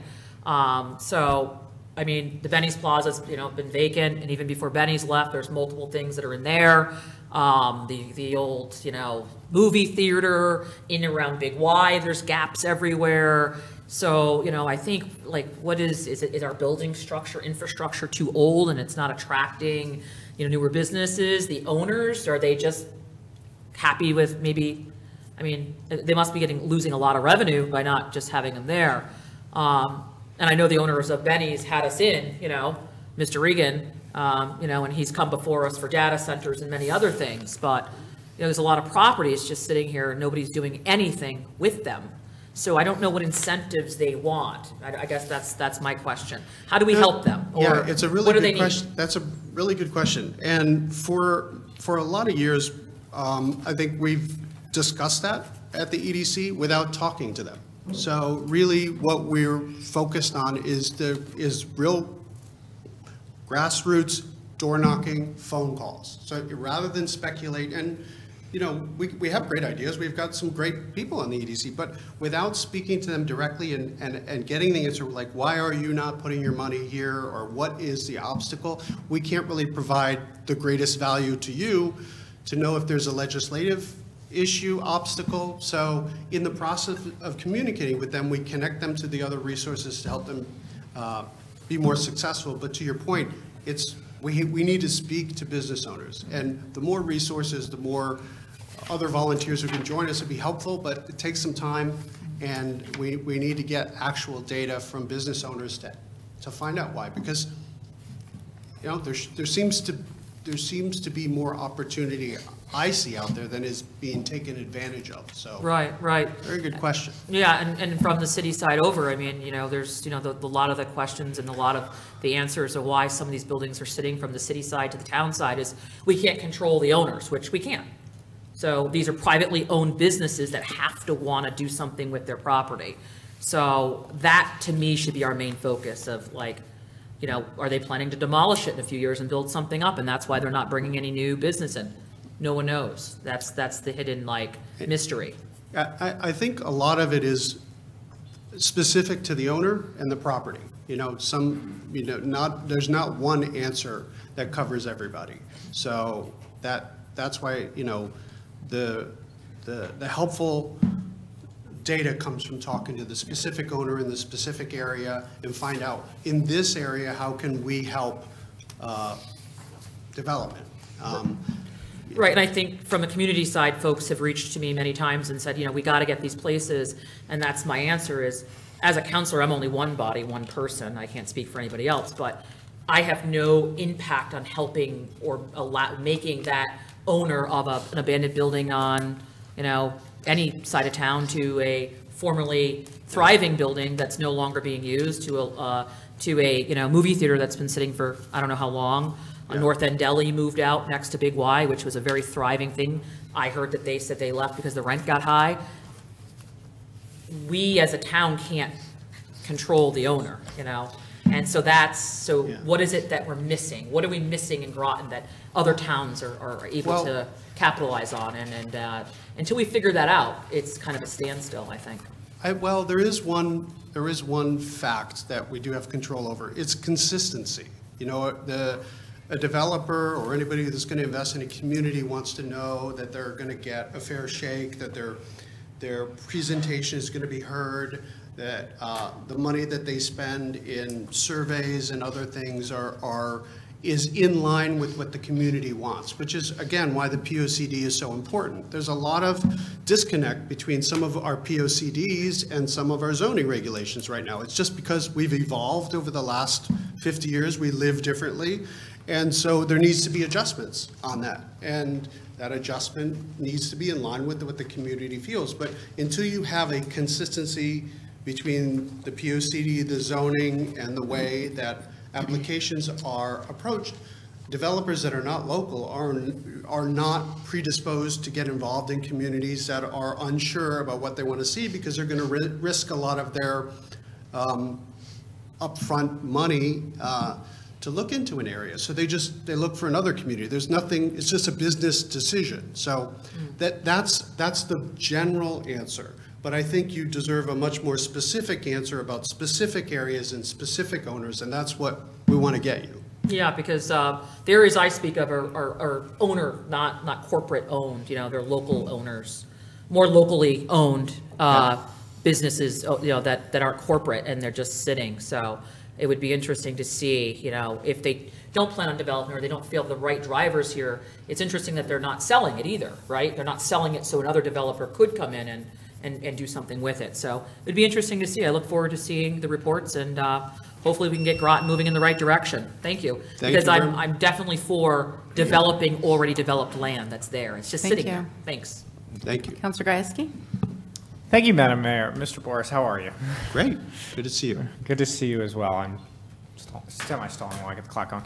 Um, I want to talk about the, in our council packet where you provided for us tonight, uh, just a little bit. Um, in, on page two of 13 of your court council packet, um, it says the EDC was asked to investigate potential incentives for property owners to develop unused land. I know Councilor Jones had, um, asked you about what those may be. Um, I just want to know if you were aware of any, you know, ideas um, that may have came uh, to fruition, but they weren't able to based on uh, if they wanted to buy the property and it wasn't for sale, or planning and zoning restricted it. If you were aware of any of those and what the council may do um, to help those from uh, happening and seeing development, especially on land that is redevelopable. Right. Thank you for the question. Um, It, it, it kind of goes back to the theme of what we've been saying here. G- Generally, um, um, the, the issues of development are, are really specific to each property. And there's different property owners that have different business models. Some property owners land bank. They, they buy different areas and they hold them to wait for appreciation. They have different uh, tax structures as to why they're doing that. They have different investors. Like uh, sometimes it's held by a limited partnership and there's 20 people on that limited partnership. Some people want to sell, some people want to hold. So th- there's all kinds of of answers to that that are not helpful to you all in making decisions on how to incentivize it. What, what I'd like to, to do and what we at the EDC like to do is, like I said, get, get you specifics to specific areas. Like this particular the area downtown, this group of owners, this group of property owners, this group of businesses have this issue that you can help with. That if you had this kind of uh, legislation or, or we, the POCD was looking, you know, to incentivize this kind of development in this area, then the community could have the input on it and the change will happen. But I don't have direct knowledge of any particular um, zoning regulation or whatever at this time that was interfering with a- specific individual's um, desire to develop. But like I said, though, there is inconsistencies between our, our zoning and, and what we say we want. Like, we, we realize there's a housing crisis, but it's, it's difficult to figure out where to put housing and what kind of housing. And those are challenging questions for us as a community to answer. So um, again, we believe the EDC, we provide value with real data, and then you can make good decisions based on that. And we greatly appreciate your data, data and all that EDC does. And I love how you mentioned housing because it really um, goes into my next question. Um, in your report, you provided um, a Branford Manor update. Yep. Um, and your work with Congressman Courtney's office. Could you elaborate, um, for those who don't have access to the report at home, of the work you've been doing there and any potential housing um, developments that you're aware of that could be coming in so the community knows that um, the EDC is proactively um, addressing the housing need, which is also one of our council goals. Right. Thank you. Um, So related to housing in general, that's kind of a town staff question. Um, They're doing a great job, and they can answer better. Paige and John can, can uh, give you, really, they get- did a great presentation at the RTM a little while ago uh, related to some successes in that. Um, Related to Branford Manor, what we, we looked at, um, you know, the town gave a tax incentive agreement for, for that. So we were looking into understanding how, what, um, why, and, you know, who, what it was used for, to, to, uh, to have a better understanding of the economic um, im- impact of that. Like, you know, we all want more affordable housing, we all want to protect our most vulnerable, and that was a situation where it felt like we could do a root cause analysis of some of the issues that happened there and maybe provide some, uh, some recommendations for how to avoid oversight issues there. And Congressman Courtney's office was greatly helpful in getting some answers from HUD related to some of those logistics. So, um, you know, I, I felt passionately about that as well. I know, I know we all did. We all saw um, the mold issues. And um, so, but, but this was, a this was a moment where we could do some um,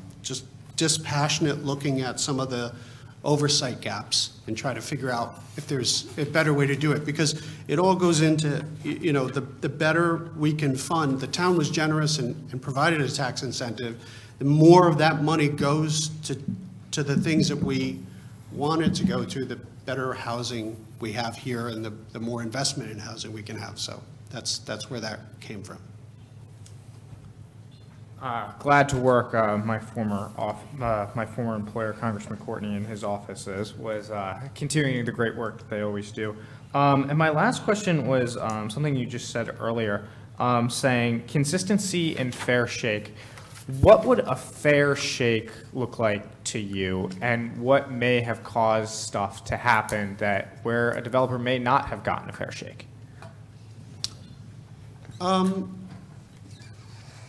I think that a lot of times, you know, we, we all, people, we're all passionate, we have perspectives of what we think is good for our community, and sometimes uh, individuals who um, have one perspective can uh, scream so loud that the facts aren't able to be put on the table for the community to look at. So I think it's, it's general conversation and it- it's human nature.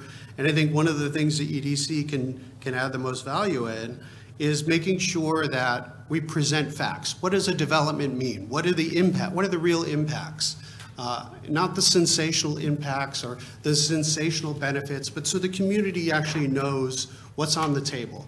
A lot of times, you know, like the data center and other issues, things can get very heated, and, um, and, and the, the, you know, as I said, bringing it down to our specific job here, it's to try to just present facts. And, and you, as the, you know, leaders of the town, and then the towns, townspeople through their different um, POCD and other things can decide what, what you want to see in an area. But a fair shake means that we are, uh, create an environment where the conversation can be had and all the impacts are shared and it's not sensationalized, positive or negative, and then decisions get made and move forward. So um, I hope that answers the question. That's generally, It does, um, and thank you, Mr. Boris, for uh, taking time out of your evening tonight and the work you do with the EDC, and Madam Mayor, you're back. Thank you. Councilor Rusk?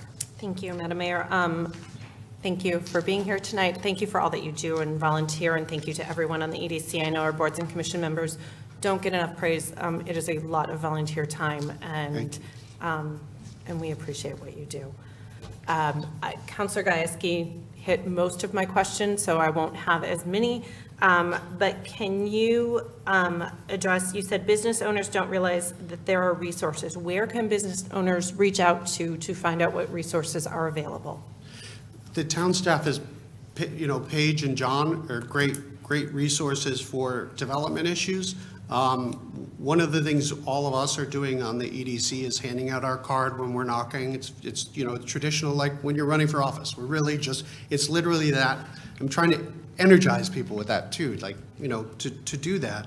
And um, handing out our business card and letting them, letting the, the business owners in town know that, you know, they can call us and we'll direct them. If it's a development issue, this area, or if it's a funding issue, we could go to seCTer, or um, if, if they're not a member of a chamber, we can go, you know, help with the Eastern Chamber or, or Bruce. So that, that's what we're, we're doing right now, is really trying to hand those cards out. So it's like, you can call me, anybody, speak to me or any other members of the commission. Um, Also letting businesses know they can come to our meetings and, and discuss at our meetings and bring something up and, um, you know, gets on the agenda quickly and gets, uh, gets uh, attention, so. Perfect. And this may be a Paige question, um, but residents can give input to the POCD how? Is it online? Sorry. Not yet. Uh, Soon we'll be posting the Greater Groton page on the POCD, but initially people attend the community conversation meetings. That's a Okay. So since you're not on mic, I'm just going to repeat that. So people can attend the community conversation meetings. It's not yet online. Perfect, thank you.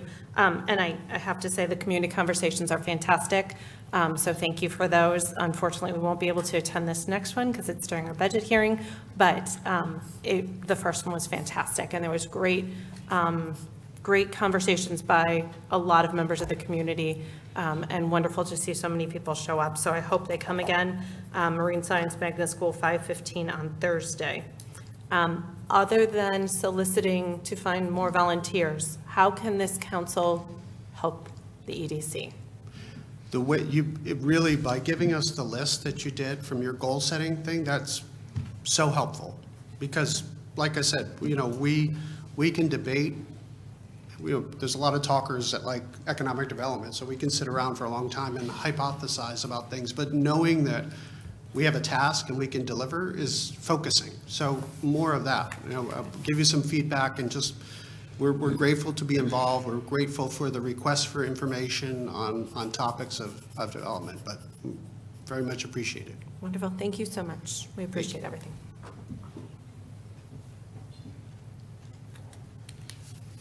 Okay. So I would like to thank you for coming this evening and giving us an update. Um, As I read through the annual report, um, you've been working on a lot of things in 2023. Um, You didn't cover everything that you've actually worked on, but I do want to thank you for your comments about the fair shake and your approach to community and developers with facts. Um, And we may ask for assistance because there, there could be some sensational narratives that are spiraling and going into some false information that is spreading through the community regarding potential development in our community. And I can see it, from my perspective, sort of happening as, at the moment.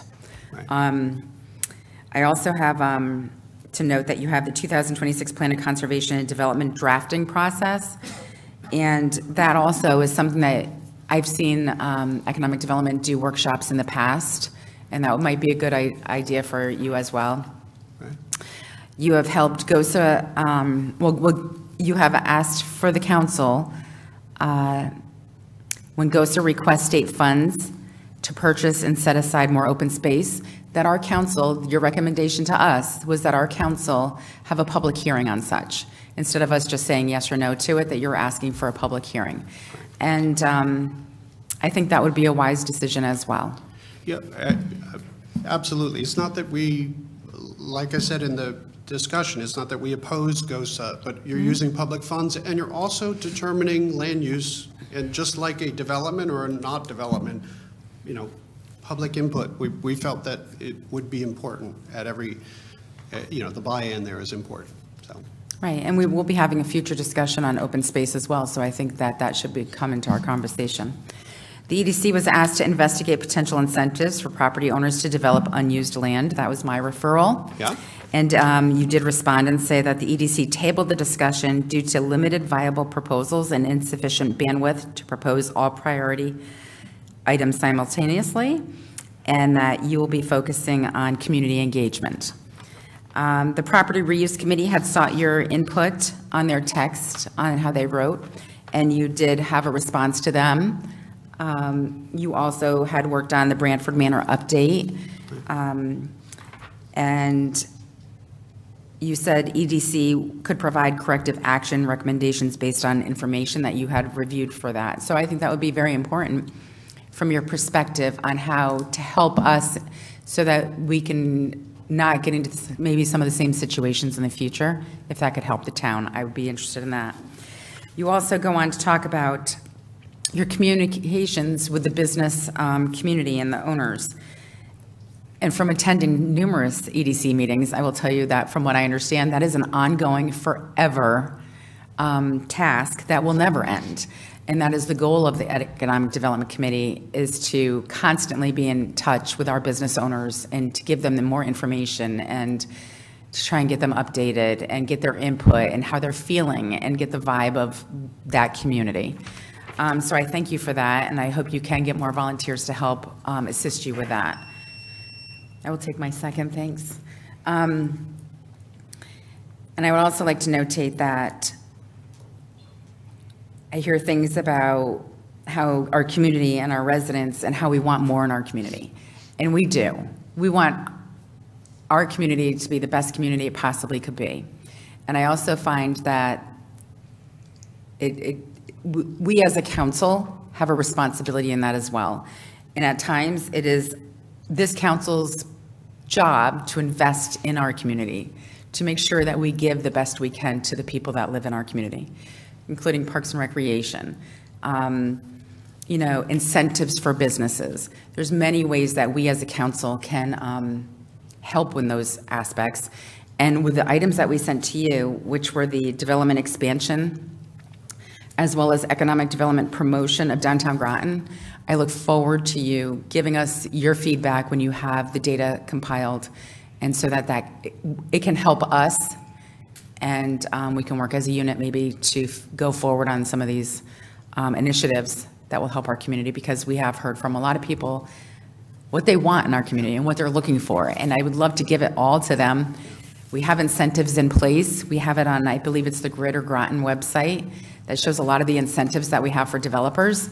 And you can give the incentives, but you have to understand, like, why are they not taking us up on these incentives? Um, So I look forward to your data when you have it back, and I appreciate that you came here, gave us an update, and it looks like you have been busy, and I thank you so much for all that you do for our community. Thank you very much. Thank you all. Thank Very- you all. Very much appreciated. Thank you.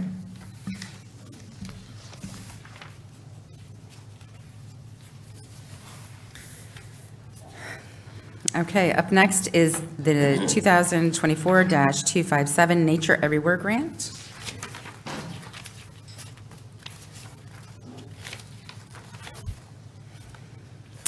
And Councilor Jones, would you like to read the motion? Page 36. Well, 37, maybe. This is item 2024-257, the Nature Everywhere Grant. The motion is to recommend a resolution approving the acceptance of the Nature Everywhere Grant in the amount of $40,000, authorizing the town manager to execute all required documents for such program and refer the matter to the RTM per Rule 6.5.3. So moved. Second, Orland? Moved by Jones, seconded by Bordelon. Hello, would you like to introduce yourselves? Yes, uh, good evening, John Reiner, Director of Planning and Development. So uh, you've heard us talk about the Go Groton Nature Everywhere grant. Uh, Up here today is part of our, most of our team, so I'll let everybody introduce themselves. Hi, everyone. I'm Clint Kennedy. I'm uh, live in Groton and also the Director of Technology for the Board of Education. Good evening, everybody. Clayton Potter, Community Outreach Coordinator for Parks and Recreation. Hi, everybody. I'm Ben Moon. I work for Groton Public Schools, Director of STEM and Magnet Programs for K-5 and also a Groton resident. Good evening, Megan Granato, Town of Groton Sustainability and Resilience Manager. And uh, not with us here tonight is Dan O'Connell, the president of GOSA, uh, who's also a partner with us on this grant. So uh, we know that you still got a number of council uh, agenda items ahead of you, so we'll try to get through this relatively quickly. But we wanted to give you a, a brief overview of this grant program that we received and talk a little bit about the initial funding, uh, the seed funding that we're going to be getting and uh, what we plan on doing with that. So uh, with that, I'll hand it over to Megan and Clayton. I think will be doing most of the talking. but feel free to chime in. So just a couple of quick slides to give you an overview. Um, We're talking about the, the Nature Everywhere program, and our Go Groton team, Go Groton stands for Get Outdoors Groton. Um, So what is Nature Everywhere? This is a program that's spearheaded by a partnership of the National League of Cities and um, Children in Nature Network and Kaboom. And their goal is to increase access to nature for everywhere children live, work, and play. And they're trying to do this in 100 communities by 2025. And why are they doing this, right? Um, Studies have found that spending time outside is so instrumental for children's emotional and physical well-being. And so they're really trying to work with different communities to make sure that nature equity planning is integrated into community functions. And um, so last year, they posted a solicitation. It was a nationwide solicitation looking for communities to participate. And what the communities were signing up for was the ability to participate in a two-year planning process to build a nature equity plan. And the communities working through this receive support from the program's technical experts, peer-to-peer learning opportunities, research and tools, $40,000 seed grants, which we're talking to you about this evening, um, as well as once the plans are complete, it opens up the availability to catalytic implementation funds, and then also communication and tracking support. And the nature equity plans that are to be developed are really, um, you know, centered on extensive stakeholder engagement, including youth. These plans are really for naught if we're not hearing from our children in our community and what they need and what the barriers um, for them participating in outdoor activities is. Um, other things that we'll be doing include geospatial, geospatial analysis of green space. Um, so I know a few weeks ago you were talking about parks in the northwestern corner of town. So conversations like that will be folded into this. Um, consideration of existing programs that help connect youth to nature and how potentially we could expand those. Um, looking at different policy recommendation, recommendations to remove barriers, and then also perhaps on the ground implementation projects, new park spaces, new trails, new outdoor play spaces, all of those sorts of things. And the goal here is really transformational change. And so how the program talks about transformational change is wanting to make sure that access to nature isn't dictated by the color of a child's skin or how much money their parents make. Um, nature-based experiences are going to be equitably designed, programmed, and resourced, and that nature opportunities also reflect the culture of the community and the diversity of that culture. So this is our team plus Dan O'Connell from GOSA. Um, so, uh, you know, we have great representation from the town, the school system, and then, of course, our nonprofit partner with GOSA being one of our major open space landholders in the town. And uh, timeline of things. So we applied for this over the summer, and I, I do want to take a moment to reflect, though, that I think why we were successful in receiving this, and we were selected, we are one of 19 communities from across the nation selected this year to do this. And I think it's in large part because most of the people on this team were already working on this. Groton Public Schools and GOSA, with some cheerleading from the town, has been working to get kids outside. Um, and they're continuing to work on it. So this spring and summer, they have 12 hikes booked that will get over 650 of our elementary, middle, and high schoolers out. So this is all stuff that's happening um, sort of behind the scenes. So we wanted to take a moment to just like put a little light on it. It's tremendous work that's happening uh, to try to get our Groton kids out in nature, sometimes going on their very first hike. Um, but in terms of this process of nature equity planning, um, sorry, John, if you could go back one slide.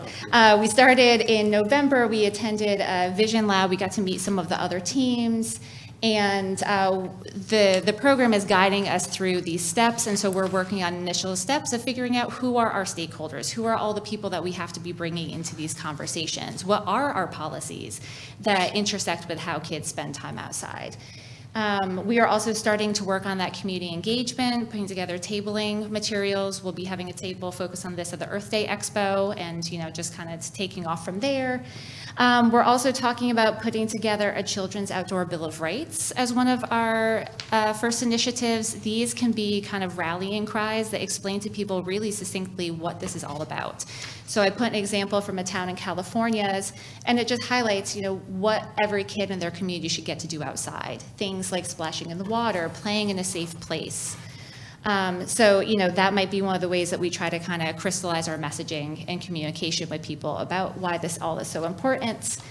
Um, and we are here tonight talking more specifically about the seed funding portion of this and requesting um, approval to accept the seed funds and also let you know what we propose to do with them. And so I'm going to turn it over to Clayton for that.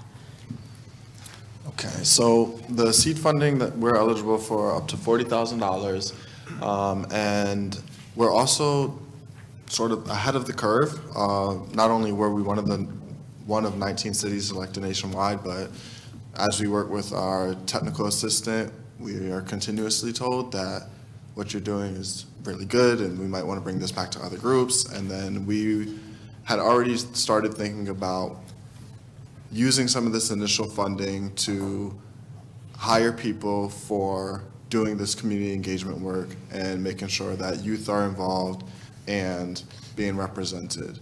And then in some of the examples that came up in the following meeting with Nature Everywhere of how to use that funding, that was one of the examples. Um, so we're just right on track. Um, and then for these positions, we're looking to hire a youth organizer who would be at least at the graduate level, um, but might be a community member, uh, definitely an adult, a community member, a teacher, somebody who's passionate about this work and interested in sort of joining the team and helping uh, make these connections to our community members. And then we would want to add on two to three high school interns to also be involved in this project. Um, the youth organizer, the adult role, the older role would um, work with us maybe somewhere 10 to 15 hours a week for a one-year period, and the high school high school students would work along the same time period, but at you know reduced hours. Um, we would Parks and Recreation is looking to receive the funds, manage them, and be able to pay these people. Um, I would work closely with all of them. They'd also work with the rest of the team. Um, but as a community outreach coordinator, I'd be one of the point people. And that's um, for the purpose of doing the outreach, but we're looking at um, all different ways for them to engage with community members. So they would be working with adults, families, um, and parents, but also how can our high school students utilize their connections amongst the peers and their schools as young people, what are ways that they can connect with our elementary and our middle school students, and then let them utilize all the different creative means that they have of doing outreach that might, you know, be a little different than how we normally do things with public meetings. Um, but use it so you know that could look like TikTok, that could look like peer interviews, um, things that are really driven by them. But then we also want to use it as a youth development opportunity so that they have um, up, so that they have the chance to maybe speak in a more formal setting like this or lead lead public input sessions where the youth are at the are in your positions and people are coming to them and asking them questions or providing their input. Um, and then ultimately that collaboration between the youth organizer and the youth leaders would, you know, put, put together recommendations and proposals uh, in, in alignment with the team, and we would bring that into our next stage uh, to obtain that catalytic funding for implement, implementing different projects that Megan referenced.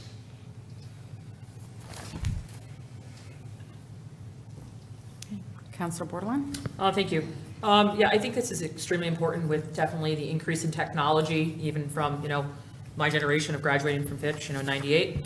You know, then I'm going to college, I remember the computers being like a big deal, and AOL, and, you know, the dial-up modem, and it draw, you know, drew us in. And, you know, even with my own, my children growing up, you know, making sure I was giving them more balance of, of, of computer time versus access time even though my son now laughs at me because he's like, Mom, I'm in the Navy and I'm on a computer all day long. So the one thing I kept him from is what he does. It's like, it's kind of funny. We just joke about it. But with that, um, you know, with my husband was, you know, active duty military. We were from here, stationed here in the military community. Community. We thought we'd travel, but we went up to Maine just for one short time of about a year and a half. We lived in Maine.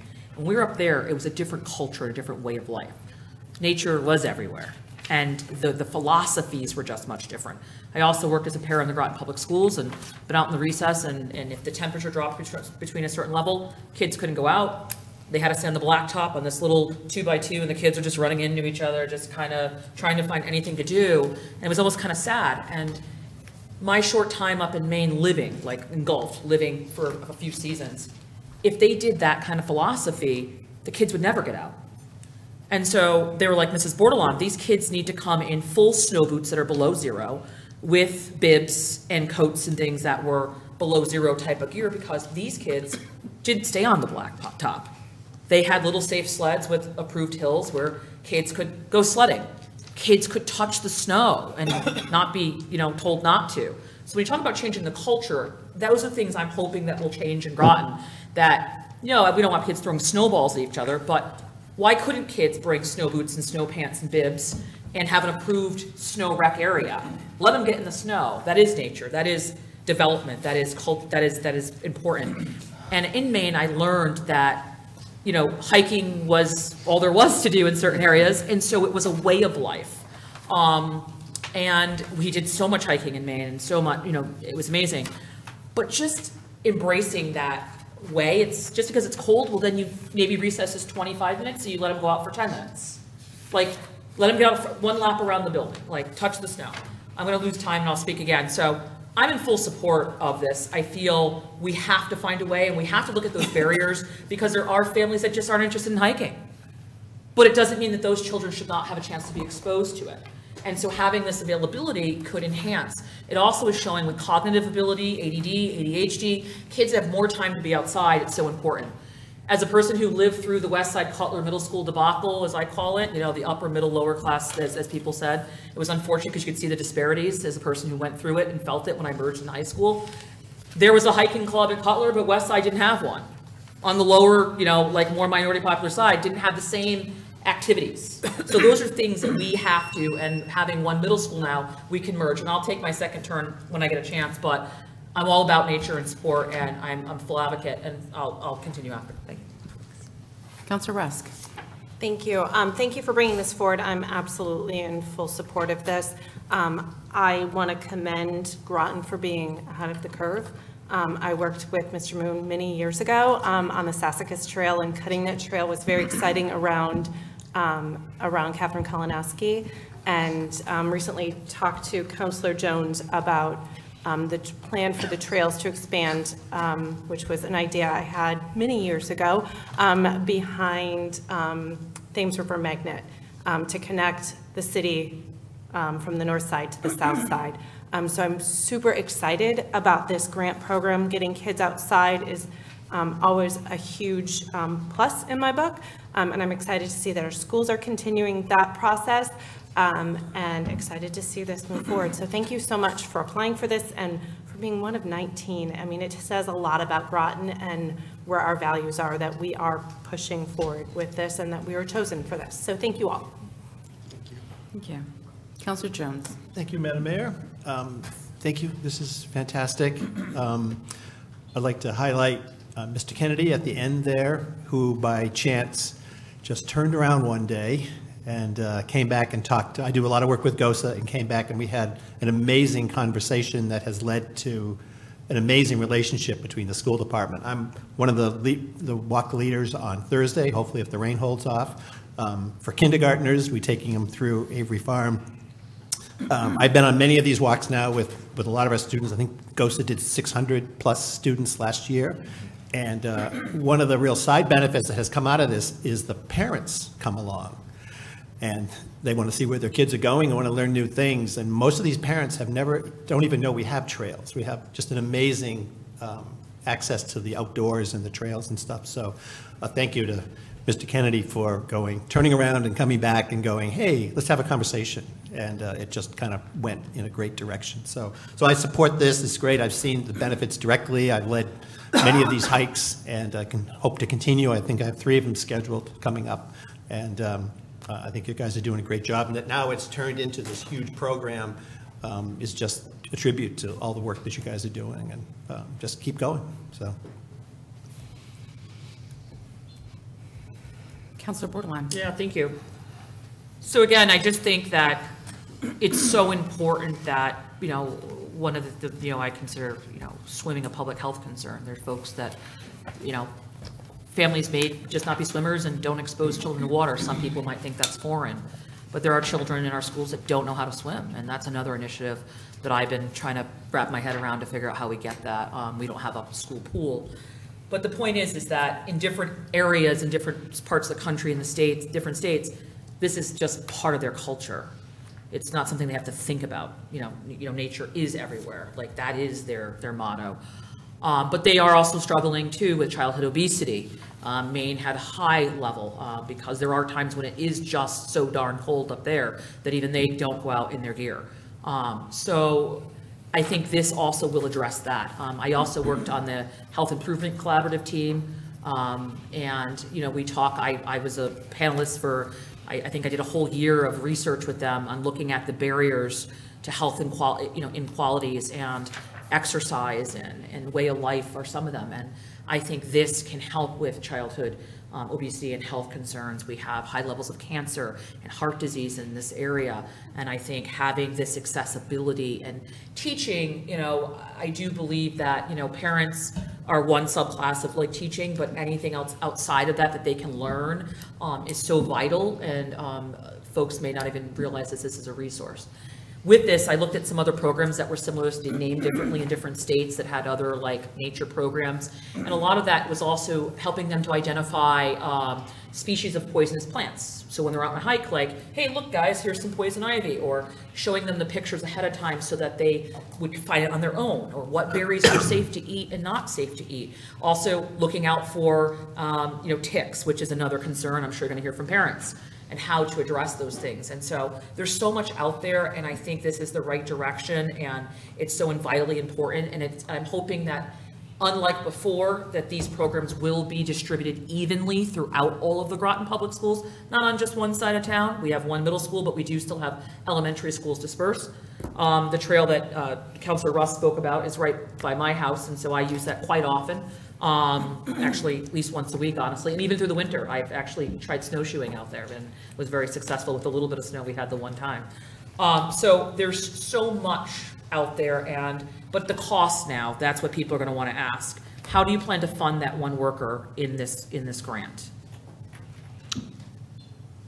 So, um, right now, we are working with human resources and our technical assistant from Nature Everywhere to be able to get really accurate numbers on what it would, you know, what would be a fair wage and competitive wage for the youth organizer.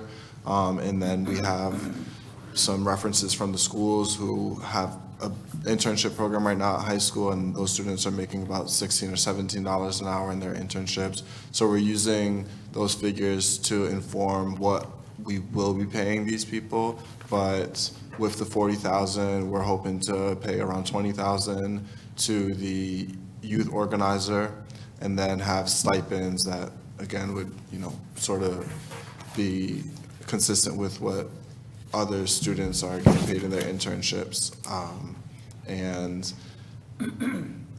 if we are able to use about 20,000 for our youth organizer, 10,000 for two to three high school students, then we still have another $10,000 to dedicate towards putting together community engagement events, utilizing uh, translation services, having incentives for people to get to these events, or maybe there's uh, transportation costs, uh, different things, but that's generally how we're looking to uh, divvy up that seed funding right now.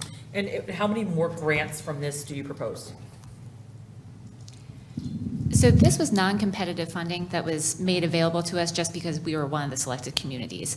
This is, as far as we know, a one-time installment of the seed grant. Um, Though, like I said, once we finish the plan, they have funding that we'll be able to apply for on a competitive basis to try to get our priority projects in the ground or moving forward. Well, I'm a big, big supporter of open space and conservation, and I think utilizing these things that we are protecting is so very vital. Um, I think we have a lot of great areas in the town of Groton that are underutilized, and so I'm interested to see where this goes, and, um, you know, I think there's a lot of other areas that have, you know, are doing this and, and, and it showed great initiative. so I think it's gonna enhance the health and well-being of our students. So Councilor Gieske? I commend you guys, thank you. Thank you.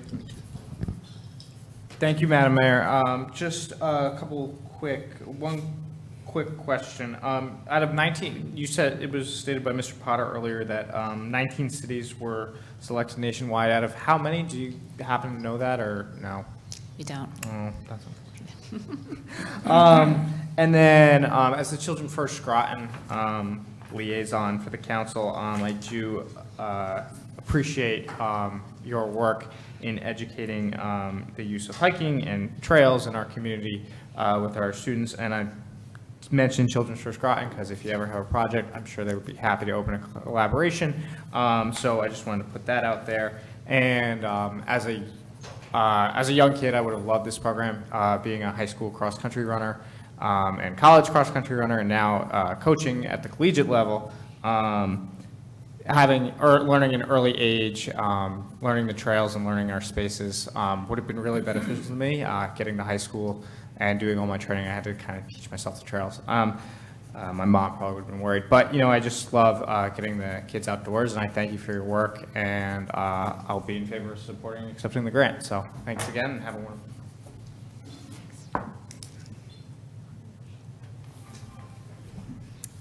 Good evening. I have a few questions. Um, So, uh, Director, uh, oh my gosh, Gren, can I just, I'm going to say it wrong. Is it Granato? You got it. Yes, I'm sorry. Okay. Um, So what is your role in this?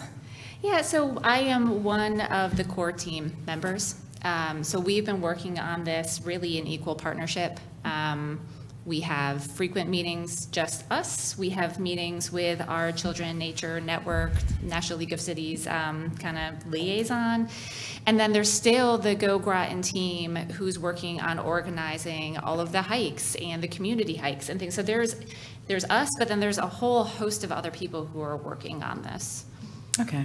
I was just curious because of resiliency, sustainability. I was wondering what that had Uh, to do Yeah, with so um, we talked about, uh, with our application, we had to highlight different focus areas, and so sustainability resilience was one of the ones that we're seeking to integrate into this. Um, And from my opinion, of all the things I can do on climate change, getting kids outside, connected to nature is probably one of the more impactful things I can. So if there's ways that we can integrate that into this um, Go Groton, if there's ways that we can be encouraging kids to um, develop more of a relationship with the outdoors and the natural world, since generally you fight for what you care about, then I think it aligns with overall the mission of what we're trying to do with sustainability in the town. Thank you. And then it says you were, um, the youth organizer position is intended for a graduate level student, whereas the youth leaders will be high school students, and you plan on paying these, and would they be brought on as temporary employees and let go after the grant expires? Yeah, so um, it would be a one-year position, and, right, the youth organizer would be temporary, and we're working with HR to make sure that that um, position is still posted and presented with the same formalities as other town um, job, op- job offerings. Um, And the youth from my conversation with our HR team, uh, the interns is a little bit more lax. We'll have to, you know, do different uh, measures to make sure that it's all, that they're safe and that they're protected. Um, But as stipended roles, it's less intense than hiring for a part-time position.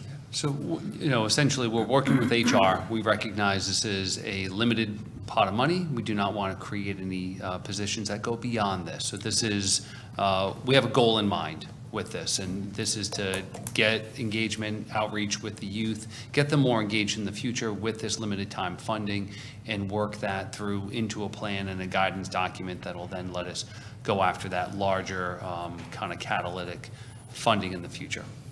Gotcha. And um, I wasn't quite sure, like, when is this going to happen? Is it going to happen at recess at school, like playing outside? Or is it during field trips during school? Um, Or is it during a summer program? I mean, like, exactly when are these, For the outreach? for the children going on this, out on hikes and So exploring nature and all that that So, you described? I- When does a- this happen? A few of us could probably jump in on this, but um, I'm happy to go on. So we have been engaging in these hikes for the last year or so with GOSA's help and so forth, which is separate from this particular grant. Um, It's really been a labor of love, people coming together and trying to make, build these programs and make sure that they were available for students equitably across those schools. This was an opportunity to formalize more of this. Again, this is a planning grant, and we want to engage with people in our community to build these models and systems, and then go after additional funding in the future so that we can implement, maintain, and move forward. So the official Go Groton group, if you will, is, is a superset of what you're looking at here. Uh, The five of us plus, plus Dan from GOSA really represents this Nature Everywhere group that's engaging with, with the- this organization, sought this funding, was selected, and is moving forward, forward specifically around planning over the next two years. Those hikes will continue. And and also. So I, I- I'm And- sorry. and I- Just one other thing. Um, So it's not just about hikes, though, either. So th- it's a lot more than that. So some of the other communities that are doing this type of work are building in nature-based playscapes uh, at- on their school properties. They're doing things differently on our recreation site. So it's not just getting out for hikes, it's getting kids involved in nature and not just um, uh, an asphalt pad with uh, metal plate, you know, materials, but getting them involved in that and seeing, you know, shade on the, the, the school properties. There's a whole lot to it that, um, and that's what's going to start coming out of that larger plan that we develop in the future with some of that catalytic funding. Okay, so I'm going to ask again, is this going to be during recess at school? Is it going to be on field trips? Or is it going to be like during summer programs for like parks and, or is it going to be a park and rec thing? I mean, I don't understand exactly The when. the easy answer is yes, meaning all of the above. It's This is a the planning grant, so we are going to be engaging in, with the community to develop a plan on what this would include. I would guess that it would include many, if not all of those opportunities. Okay, because I wasn't sure by reading the whole thing exactly, it doesn't give a, a full picture of And exactly again, this what's is, a- going on. this is for planning purposes and so forth. And again, I think part of the reason why Ben and Megan play such a critical role in this, amongst others, is that expertise around sustainability, climate change, STEM education, and so forth, which are critical pieces to this. So yes, hiking is wonderful and important, but having those linked to educational standards and building a passion for this, I think, is critical to what we're doing and for the longevity of this. Right, I sort of just used hiking as just an example, because, Sure. I mean, you gave a whole list of uh, items, and I didn't want to go through every single one of them, so. But thank you very much, I'll support this, and um, I wish you all much luck with it. So thank you very much, and for all that you're doing. I don't see any more questions. One clarifying question, if you don't mind, uh, Mayor. What's that? Um, Have you guys sought out uh, the UConn Avery Point? I believe they have a hiking group. I just thought of youth anyway. Just might be a resource. We're doing a, we've put together a whole stakeholder assessment. In fact, Sue Radway from Children First Groton helped us with that, and they're definitely one of the stakeholders that we've included. And Ben, you have a relationship with them, right, too? Yeah, and I've worked pretty closely with Sima Evan um, and the Eco Huskies over the years. Um, We've had a a hiking outdoor exploration club at Catherine Kolnaski for almost a decade, um, and Sima's been another great partner um, in helping to get off the ground, so, yeah. Thank you. Thank you. And with that, we'll take a vote. All those in favor? Aye. Aye. Aye. All those opposed? Abstentions? That passes eight to zero to zero. Thank you very much. Have a good Thank you all. evening. Up next is the 2023-503 for Climate Action Plan Grant Name Change. Um, Councilor Rusk, would you like to take that one? Absolutely. Um, Item 2023-503, Climate Action Plan Name, Grant Name Change. Um, Motion to recommend a resolution approving the adjustment needs to the prior resolution as noted. I So Second. move. Second. Moved by Russ, seconded by Pacino. Would you like to give a little synopsis of what's going on? I'll try to give a, a real quick overview of what this is. So it was announced in June that we were one of the successful um, projects selected, selected for DEEP's first Climate Resilience Fund grant. Um, We are now working through the process of securing the grant paperwork with them, and they have requested a certified resolution. So we had come to you back in July of last year um, to talk through this. However, the state has certain requirements for what the certified resolution must include. They have specified that they would like this to be the name of the grant, and they have also specified that the signatory of the grant, being Town Manager Burt, must be spelled out in the resolution. So this does not in any way change the work to be done, nothing about the project scope. This is really just um, being receptive of what DEEP has said they need in terms of the paperwork to get things going. Thank you. And we passed this at um, our cow and at town council, and this is um, just simply a name change and a signature spelled out in the scope of the motion. So I'm hoping that we could just simply pass this without too much discussion. Is there any comments? I I have- Councilor Bordelon?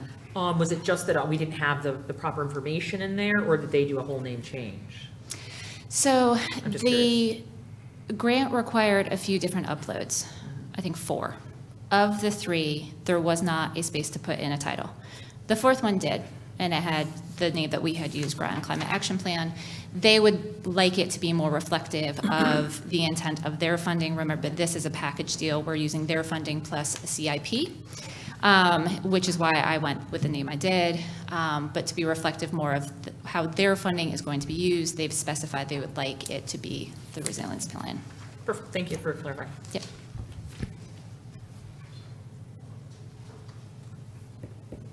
Okay, I don't see any more hands, so let's take a vote. All those in favor? Aye. Aye. Aye. Aye. Aye. Opposed? Abstentions? That passes eight to zero to zero. Thank you so much. Thank you.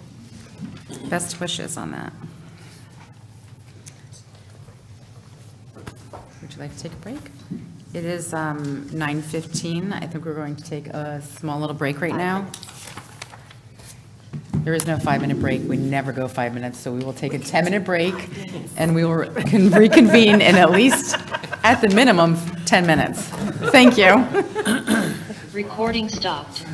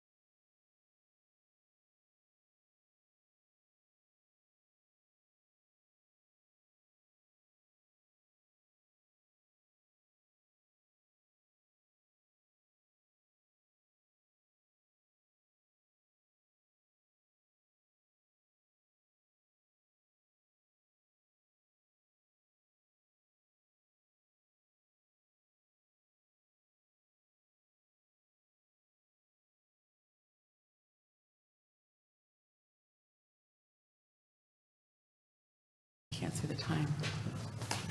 9:29. We're back from recess at 9:29.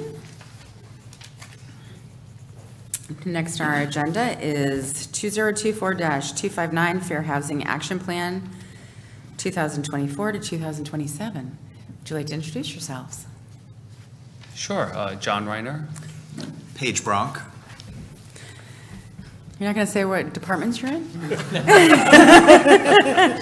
I was told I do that too often sometimes. People at home may not know. So anyway, go ahead. Would you like to do your presentation? Sure. Uh, So very quickly, um, we are required to have a fair housing uh, plan in the town of Groton. Uh, This is a requirement uh, for a lot of the federal funding and state funding that we do around affordable housing, uh, especially for those communities that participate in the Community Development Block Grant Program. And we need to observe Fair Housing Act procedures and guidelines. And we have to re-adopt this plan every three years. This is the same exact plan, uh, although the staff member's name has changed in it since the last time that um, is the Fair Housing Action Officer. Other than that, the plan is exactly the same. This is something that the- we have to adopt it, wording exactly as this, as uh, designated and stated by the, the state. So I think there are some minor changes to the plan back in 2017. We had adopted it again in uh, 20 or 21, and now it's time to re-adopt. All right, thank you. Councilor Pacino, would you like to read the motion on page 49? Yes. Motion to recommend a resolution adopting the Fair Housing Plan for 2024 to 2027. Second? Moved by Pacino, seconded by Jones. Okay. Councilor Bordelon? Yeah, so this is just pretty much verbatim what the state gives us to adopt. Um, I was reading and it was unclear. Um, this is like the basic format, but it, I was trying to understand in my short amount of time from the time I got the agenda on Thursday till today and my busy life, trying to go through it. Um, but I saw online, can towns also add in additional things if they wanted to enhance the document?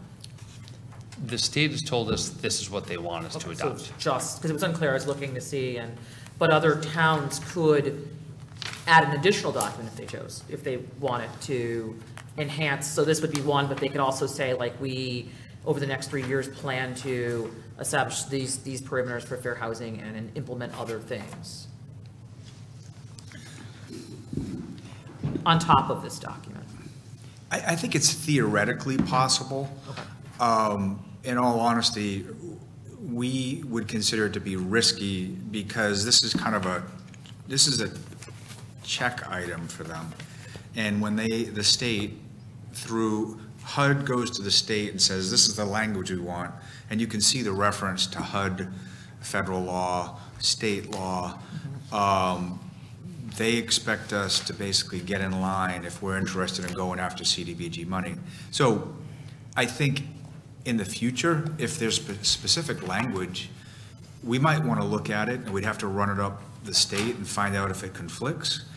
But um, most communities just go with this language because the state says is the requirement. And then if there are other items or policies that we want to adopt, I mean, often those fall under some of the actions in our plan of conservation and development, our affordable housing plan, and some of the other practices that we would do uh, through our everyday work and the larger plans and policies that we do. Mhm. Yeah, because I was just doing, reading some documents, and they were saying that some towns have taken this and, like, in different, even different states have different write-ups, so obviously they're not same state to state per se. But um, they take this in action plan, but in, yes, in their other plans, they might say, like, we want to enhance this particular section and grow in this area, and they might uh, identify um, outside the parameters of a state document, right? Because it's just a, it's a, like you said, it's a blanket, so it's not very unique to individual towns per se. And so some towns, when looking at their drivers or their plans, have done enhancement documents to, in other revisions elsewhere, to kind of find where there might be missing pieces that may affect our town um, as far as those compliances and things like that. So, but thank you. I just was curious to see, um, you know, I was just doing some reading on it. Thank you.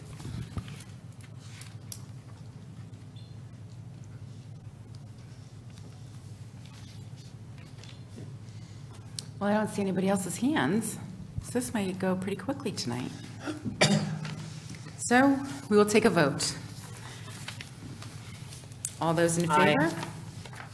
Aye. Aye. Aye. Opposed? Abstentions?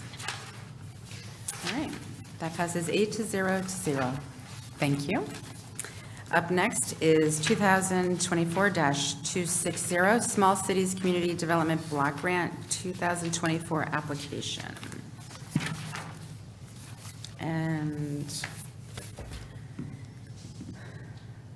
Councilor Parker, would you like to read the motion on page 55? Make a motion to recommend a resolution scheduling a public hearing on May 7, 2024 for the Small Cities Community Development Block Grant, CDBG application. I so move. Second. Moved by Parker, seconded by Franco. Would you like to make a presentation?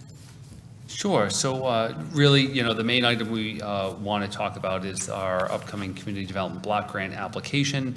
But uh, short term, we need to get the public hearing for that scheduled, hence why we're here before you. And then um, we can talk a little bit about some of the procedure. I think Paige was going to talk a little bit about the application that we'll be uh, bringing forward this year.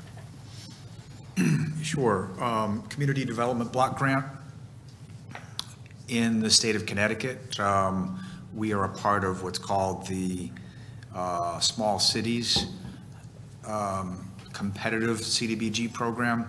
Uh, Just to be clear, large cities sometimes are entitlement communities. Let's say Hartford, New London, Bridgeport, they receive their funding directly from the federal government. And I I should say, a much larger allocation from the federal government. Community like Groton, we have to compete um, through a state program that is managed by uh, Connecticut Department of Housing, who gets their money directly from the federal government. In doing so, um, they are responsible for managing their allocation from the federal government. They have their own guidelines, their rules, uh, and they will solicit applications from small communities such as Groton. It's a pretty compressed time frame. It always is. Uh, They literally just had their meeting this morning with the municipalities to advise as to how much funding is available, what their cap will be, the maximum amount that they will award, what their priorities will be, such as housing production, uh, and all of the other requirements that come with it. And um, the size of a CDBG application that has to be developed and submitted to the state, no joke, is about three and a half inches thick. It's quite an endeavor. Um, You see the schedule within the referral. We don't have much time to actually put it together. Um, We anticipate this every year, and we're always speaking with potential partners. And we did solicit concept um, ideas several months ago. And the one entity that came forward that uh, appeared ready to actually move a project is um, Mystic River Homes. We are still trying to finalize the details on that at this point in time. Uh, We have done work at that property in the past. Um, I would say the scope at this point in time would entail a pretty sizable elevator replacement, uh, replacement of siding, and also replacement of old roofing at the existing structures. Uh, We're still refining that. We work with ECHO, um, Eastern Connecticut Housing Opportunity, I believe, organization. Um, They work with us in helping us actually draft that application, coordinate with the state, and also coordinate with the subrecipient. In this case, it would be Mystic River Homes. And, and this grant's different in many ways from others in that this is one where the state's not looking just for an idea or a concept. They're actually looking for the designs to be completed to a certain percent. So, you know, you can see from that really short time frame, if there's, we know that there's a lot of need for housing, affordable housing within Groton, and, you know, some of it is this rehab type work. But if the applicants that we're looking to work with aren't ready with a, a ready-to-go application, designed, already done, it, it's not going to be competitive and we won't get a grant. So that's something, you know, as, I know everybody's like, oh, what about this or what about that? The partners that we work with have to have plans that are ready to go. Otherwise, we're not going to get the funding under this type of a grant. No, that's a great point. Also, we want to know, do they have funding to help assist this project more than a concept? You know, the, the days of doing a two-page grant application and getting significant money are, are pretty much gone. They really want to know details. Uh, most of these processes are highly competitive, and is there a partner willing to put money on the table, plans that are well-designed? Do you have a team that can execute this and actually fulfill what you're proposing? Um, So, yeah, it, it, there's definitely no guarantee. Groton has fared well in the past. Um, and we're looking to move forward. And there's a process, as you know, with the council to have several meetings before we get to that, um, that final stage where we could submit. So we're requesting authority to um, basically work with the schedule and advance the project. Thank you. Councilor Bordelon? Um, how many applicants did you guys have? That we would submit to the state. How many people, was there a certain pool of people that applied that you guys had to pick from, or how many did you have? We have one, You only had one person apply, Mystic? one organization that actually met our requirements. So how many did you have apply? I'm not, I'm not understanding the So that you could have, so, for example, if you're putting out a job, right, you might have five applicants that apply, and you might choose one that is applicable that meets the requirements. How many people actually put applications in? We have one application that met our requirements. So there were other applicants, but they didn't meet the requirements, is what I'm asking? I would not necessarily say so, no. So only We, one person we, we required that the applications actually complete certain state, you have to demonstrate, you have finances, you have to demonstrate that you have a team that's willing to move forward with a planned effort, and the others do not. So other people did try, but they didn't have complete applications? Organizations, not people per se. Well, organizations, right, folks submitted applications. We had, in, we had organizations that demonstrated interest, but when they understood that they couldn't fulfill the requirements, they did not advance. So what are we doing in the future? I guess the reason I asked this is, again, I was looking online, researching, you know, how towns handle it, and every town does it a little bit differently with this grant. And there could be some more outreach. We talk about trying to help the community. Has there, is there a plan moving forward? So like starting today, right? Because the next time that comes up, people that may have applied that didn't meet the requirements, is there a way that you can help them? I mean, it might be a lengthy process, or help them to understand what they may need earlier on, so that way next time this comes around, they're better prepared. Is there any workshops that you can start putting out now to kind of make people aware? So this is a grant that's been around for a long time, and the folks that, the organizations that apply for this know what's needed now for the next grant round two years from now. But they need to be able to have the capital, they need to have the plans, they need to, there's a lot of things that they have to do that cost them time and money that we can't do for them. Well, I was just thinking of like growing, so there might be uh, agencies that we're not tapping into that don't know about it. So the people who have been applying know, but maybe there's other people who don't. And the, one of the things I was reading online is making sure it's fair and accessible. So do we have a listing up here talking about all the steps online and when the deadlines are, starting like now for the following year? We won't know the deadlines. But you could have something up saying a vague time to be determined. I think it's important to realize that um, the timeline is extremely compressed. As I said, we didn't know till this morning, actually, what funding would be available, if anything. Right. I'm just, Um, oh, sorry, go ahead. So uh, we, in working with our partners, with the state, uh, and all of the organizations that we're aware of, we're always open to having conversations with them and have them come to us. We're always trying to push information out. But these aren't, these are not simple grant applications. Basically, they have to have a project formulated to even be able to compete. Mm-hmm. Yeah, I guess what I was trying to say is like, you don't have to have a date, but it could be like, hey, CDBG grants, here's the facts. no deadline to be determined, it's a small compressed time frame. That information can be presented and up online and accessible to the community. And then you could even say, um, once this one's through, say in April or May, you can start to say, just have an oral presentation where you guys can just present what those timelines look like, how compressed it is, how competitive, and what they're actually looking for. That, because there might be other stakeholders that are not tapping into it at all. So I'm just looking for a little bit more community outreach if possible and some way to track this. You don't have to have a deadline, right?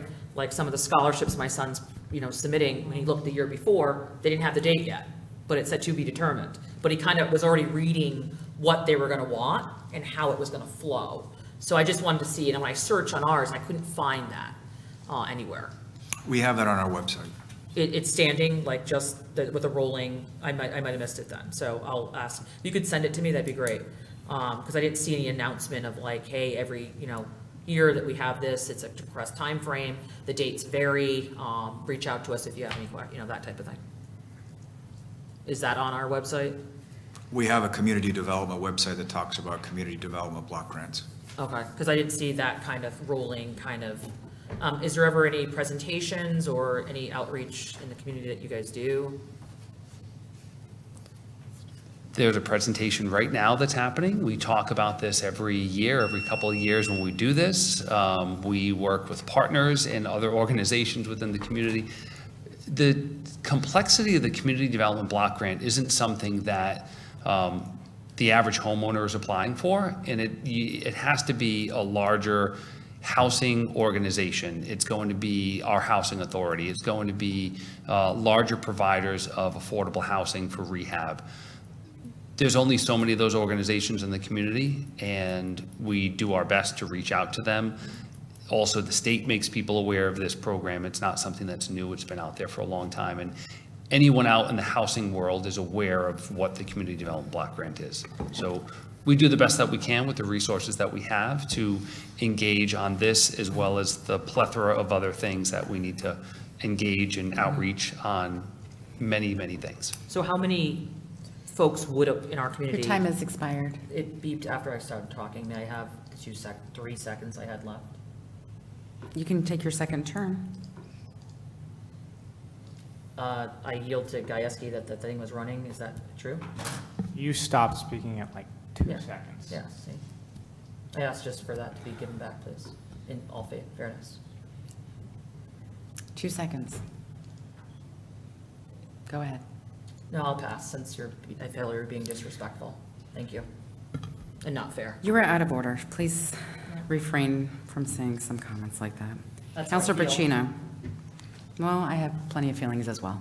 Councilor Pacino, thank you. They're obvious. Thank you, Madam Mayor. Um, I read the background. I understand the issue. Um, The request tonight is simply to schedule a public hearing. Correct. That's it. Yes. Any other discussion is, oh, can be ta- taken up on the 14th of May. Right? Correct. So any discussion right now doesn't really matter. Right now, we got to schedule a meeting. And we need to do that first before anything else happens. Okay, that's all I wanted to know. Let's just, I think we should just motor through this and just schedule the day, which they already have. Councilor Bordelon. In all fairness, um, everything that's written on here, we can just ask, you know, how many people applied, and that is pertinent to just see. Um, But I agree, yes, we, but just asking those questions about it is actually fair and germane to the thing, uh, respectfully. So um, this is the opportunity to talk about it, and um, that's, um, but, yeah. Thank you.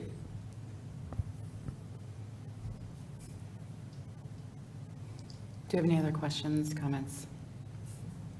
Thank you. With that, we will take a vote. All in favor of scheduling a public hearing on May tw- May 7th, 2024 for the. Small Cities Community Block Grant CDBG application? All in favor, say aye. Aye. Aye. Sorry about that, I thought it was at the end. Councilor McBride, I didn't hear yours. That was an aye. Thank you. Opposed? Abstentions? That passes eight to zero to zero. Thank Thank you for you. your time. and Thank you very for much. Staying late in the evening with us.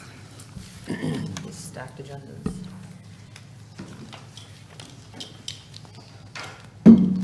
Point of order, side comments, disrespectful. I agree, Councilor Parker. Councilor Bordelon, would you please watch your comments and have some decorum? Um, Point of information? There is nobody to ask I'm point of asking you to the mayor. information. Your point of information. Um, What I was trying to say is, it seems as if everyone seems exasperated at the end, and I ask that we do not stack the agenda. That's what I was trying to say. Thank you. Thank you. It is not stacked. We have business to complete, and we have to get it done before our next town council meeting. Thank you. Up next, 2024-258 Retiree Pension COLA, July 1st, 2024. Councilor Gieske, would you like to, oh, wait a minute, no, I don't believe there's a motion on this one. We have to make decisions as we go. So would you like to introduce yourself and begin the presentation? Hi, good evening. Arnisha Green, Director of HR and Risk Management, and apologize for my voice, a little under the weather. Um, I come before you, a second time for me, but it's every other year, that there is an opportunity for the unions to come together, have a meeting with management to talk about the possibility of a COLA increase for the different retiree groups. You'll note a little bit different this year. There's a couple of decisions or options, I should say, before the council. One is what percentage, if any, you would like to award. And 5% was included because that's what was asked unanimously from the union group, so we added that in there. And in addition to the possible percentage is also a note that was brought forward, so we are bringing it forward to you, that a couple of the union groups and one of the non-union groups does not specific, oh, hello? Okay. Does not specifically have a five-year waiting period. So that's noted in there. Um, I provided pension language in there. I provided the actuarial review for three different percentages, and with the five years for everyone, and with the five years only for the groups that mention it. And there's a simplified chart that I added in there for everyone to take a look at each percentage, the annual dollar cost increase, and then the additional accrued liability. Uh, I believe that's it. Thank you.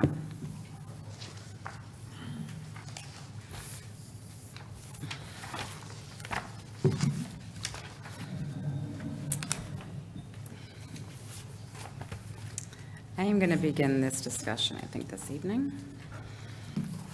So I've read the packet. I also went to um, Social Security website as well. I've written down what we have given in the past um, three uh, COLA um, discussions. Um, The thing is, we, we do the COLA reviews every two years, correct? Yes, we do. And anyone who reaches their fifth year in the interim year, it's also awarded to them, but the actual percentage is only every two years up for discussion. Okay. So in the past three um, reviews that we did, which covers six years, we have given an increase of 5.5% over a course of six years. Correct. Um, Over that same time period, Social Security has given an increase during that same time period at 13.9%, which is usually based on um, the Consumer Price Index, and which also covers the Department of Defense, the State of Connecticut, Federal Retirees, Social- SSI, and Social Security. Um, Those type of people look to the Consumer Price Index, which is the third quarter of one year compared to the third quarter of the next year. And that's how Social Security comes up with their cost of living adjustment. Over the past two years, Social Security has increased in 2023 by 8.7%. In 2024, they are increasing by 3.2%, which is a total of 11.9%. Which means that our retirees, over the past two years, basically, are coming out of extremely high inflation, very high cost of living, without an increase as of last year, as people on social, many people on Social Security get, because there are, some of our groups do not collect Social Security. Is that correct? At least one that I can think of. I think many of them do not. Right. So they are beholden on their retirement. Many of them are beholden on this retirement and the increase that they may get to offset any kind of increase. And as Social Security has said, the purpose of a COLA is to ensure that the purchasing power of Social Security and supplemental security income benefits is not eroded by inflation. It is based on the percentage increase of the Consumer Price Index for urban wage earners and clerical workers from the third quarter of the last year of a COLA was determined to the third quarter of the current year. If there is no increase, there can be no COLA. And um, I have read the letters from the groups, and I'm going to try and put a motion on the floor here this evening. I don't know how exactly I'm going to do this because it's, a it's a little, I would like the three groups that have, there are three groups that are, it is not in their contract, and they get their increase immediately. Is that correct? How it is written in their contract, correct? There is, and the two alternatives, it's sort of broken up between the five years or splitting it as it's written for the groups. Okay. So I would like to have it in my, in the motion that the, um,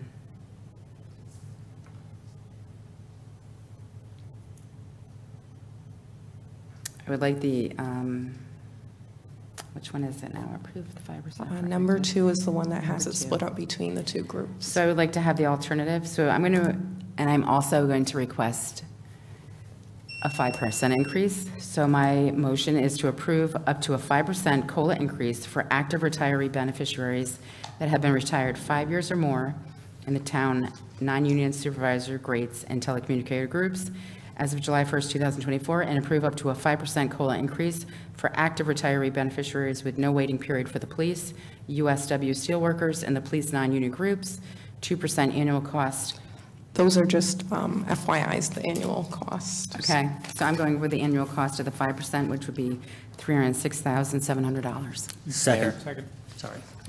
So, Mayor, it would be just 5% though, not up to 5. That. You So I shouldn't notice- It should just say 5% if that's so I'm just going to say up to 5% because the numbers could change depending on, right. So motion by Franco, seconded by Pacino. Any discussion? Councilor Jones? Can, um, Madam Mayor, can you just explain, I just go through just a little bit, s- little slower. Were there some, two groups getting one and three groups getting another? Is that, I just was a little confused. Or is it just what's on this second page? It's on 58, it's the second Just the second alternative, okay. Um, uh, Director Green, can you just explain, um, and thank you for being here, uh, can you explain what the additional accrued liability means on that, on page, the last page that you have, it is, the little chart? I don't know what, I see annual cost, but what is the additional accrued liability? So the annual cost would be the actual dollar cost, and then the additional accrued liability is the overall projected liability that will be added to the pension program. When we get it, the actuarial evaluation done, um, every year, there's figures in there that say what our what our assets are, both market value and actuarial, and then what our unfunded liability is. So this is over, it mentions a 20-year amortization, that's how our evaluation is done, and the discount rate is mentioned there. So that's over the long term, what each of these choices will add on an additional accrued liability. Too late. Um, Explain again. Sorry, there was Sorry. distraction. Can you please explain that again? Sure, so the annual cost increase is just the straight dollar amount. So what is going to be added This on? year and the next, in the next year. For So each, two years. each of We have those. Two-year period. Well, every year, for that 20-year period. Oh, okay. And so the additional accrued liability is in, it's not just adding on, you know, 103,700 every year. It's projecting out from an actuarial valuation what the additional liability is to what it is already from the actuarial report.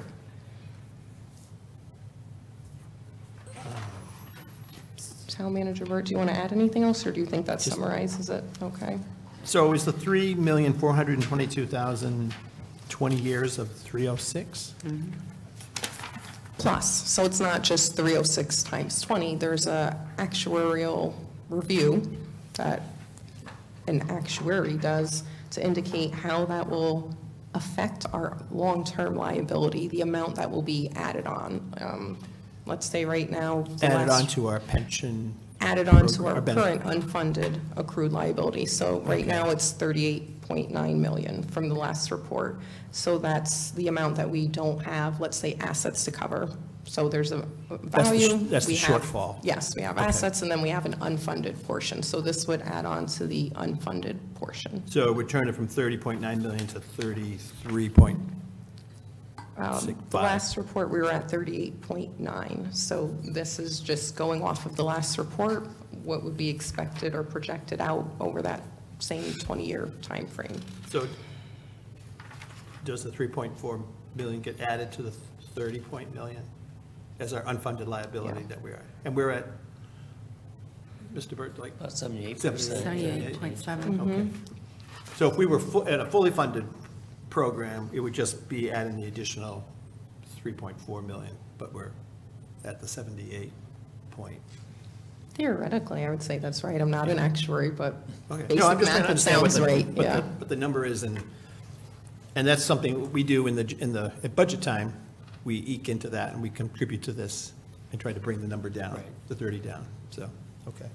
Um, Can, can you just explain, okay, that makes sense to me. Um, Can you just explain why some people have a five-year wait period and other people, other groups don't? That is the negotiated language, so I can't get into the reasons to our why. time. Yeah, just how it exists right current It's just, is it sort of just something that evolved over a period of time? That's just the way they, they kind of, there was a better benefit for them at- who didn't take it and ones that did? I That kind of- couldn't say speculating of why things happened. Um, Some things were the same over time, some things changed over time. So just looking at a snapshot of how it exists most recently, that's the language that's in the packet. Okay, all right. Um,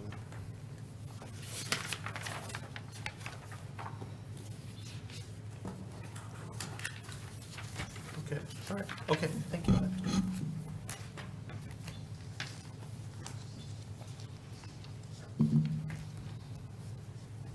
All right, I see no more hands. Oh, Councilor Councilor McBride? Thank you. I, I just have to comment, I understand and appreciate the whole discussion on social security and so forth, but I have a different take on that. And just bear with me, I'm having troubles here. Uh, Social security is something that you receive at age sixty-seven, and you're truly retired at that point. Some of these retirees, um, they start at twenty, they can retire at twenty years, so they're somewhat, sometimes 40, 45-year-old people that are receiving retiree benefits, and they're going out and getting another job. So I, I don't know if I necessarily agree with the five percent increase, because they are, you know, they're still at an age where they're going out working. So I don't think it's accurate to compare social security COLA increase to a retirement age increase for individuals that are much younger and still earning potential dollars, for, for one point. Uh, Secondly, I think we're, we're heading in a different direction. If you look at the past, it's been two percent for many years. I think the reason for that is because that's a, that's a livable two percent increase is what typically happens. This, this, this, this, you know, this area, this state, everything, people are now funding their, their ADEX and their liabilities more so. They're not heading in the opposite direction and increasing them. So I think at five percent, you know, you're, it's not, it's not hundred three thousand dollars that we're looking at, or two hundred sixty thousand. I think you have to look at what you're committing to, and by by doing a five percent increase, you're committing the town to two, almost two point nine million dollars more of indebtedness that you need to fund in the future. So I think, I think maybe we, you know, maybe this can be regrouped or thought through more, but I, I think it's not financially prudent to make a motion for five percent because it's not a hundred thousand or twenty thousand, it's, you're, we're, we're setting forth a increase in liability for the town of almost three million dollars, which I think is, is, is way beyond what we should consider. So, um, I, I'm not in favor of the five percent for, for numerous reasons. I wish I could speak further because I go into more detail, but I think the town's done a great job at seventy-eight percent. But to go in opposite direction, increase their liabilities is not, is not prudent. Um, So I would like to make a motion uh, to move forward with a two percent increase for all of the retirees, which is consistent with what appears to be prior practice uh, with past councils.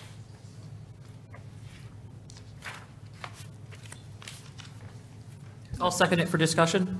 And we need to know whether that's alternative one or two, whether you're talking, uh, and, and Councilman McBride, um, the motion from the mayor was on the next page, the, uh, it's 3.4 million increase overall. Um, Thank you. So, yeah, so the option one is having every, all retirees wait the five-year period versus uh, going by the contract. So just to put it on the record, I'm in favor of going with the contracts um, as written and going with option two. But your motion needs to specify which way you're going. The option, we'll call it option one and option two.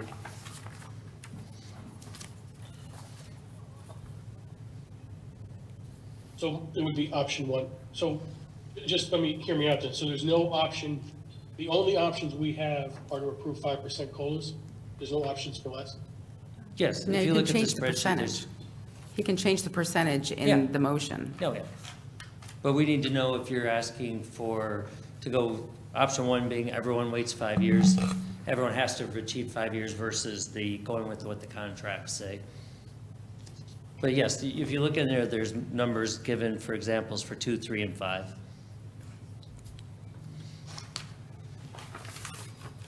I guess I'm somewhat confused. I'm just not comfortable with the five percent increase because of the increased over three million liability we're, um, Point of information? we're gonna put on the so. Councilor I don't Jones, what's your I'm point of gonna- information? On, I'm sorry? Councilman Brady just had a point of information on option, is option two goes with how the contracts are written. So some of the contracts have a five-year rate and some do not. But Right. That's what option two is, to Yes. go with our existing And that's- contracts and just give that Correct. COLA. Right, and that's what I'm supportive of. And then option one is everybody waits for five years. Correct. Okay. So just for my clarification, there's no discussion on whether it's two or three or five percent. The discussion is the waiting period. Well, it's both. We need, you need, you need to specify both which option, and then under those two options, what percentage are you indicating or advocating for? But you have to do option one or option two as part of that. And then specify the percent afterwards, or as part of that. Because there's a cost difference. If you look on page uh, 59 in the agenda packet, those are all Yes. for making everyone wait the, have, wait the five-year period. So there, if you look on that page, you'll see costs for uh, 2% COLA, 3% COLA, 5% COLA. If you go to the next page, this is going by the contract, not making it. There's two groups that do not have to wait five years. Um, So that's what page two is, and then under that page, you have 2%, 3%, and 5%. So basically, page, page 59, 2, 3, or 5, or page 60, 2, 3, or 5. Okay, then I will amend my motion. I, I understand it better. Thank you for the clarification. And I don't think I'm gonna get support for two percent, but I would like to amend my motion for page sixty, because I, I agree they shouldn't have to wait, but I would like to make the amendment to have a change to three percent COLA versus a five percent COLA. Does that make sense? Which option, one or two, from page 58? Indicated page 60, which is the second option. Correct, second At option. 3%. So he wants Second option. alternative number two with 3%. Right. I'll second that for discussion. Um, Before moving forward, I just have a point of clarification just for my notes over here. Um, What option did uh, Count- uh, Franco uh, state on which page? I'm sorry, I didn't hear. 60. It's, she did the second option, page It's- 60 chart for 5%. And that's where everybody, She did it for 5% and then he's lo- lowered it to 3%. but the same.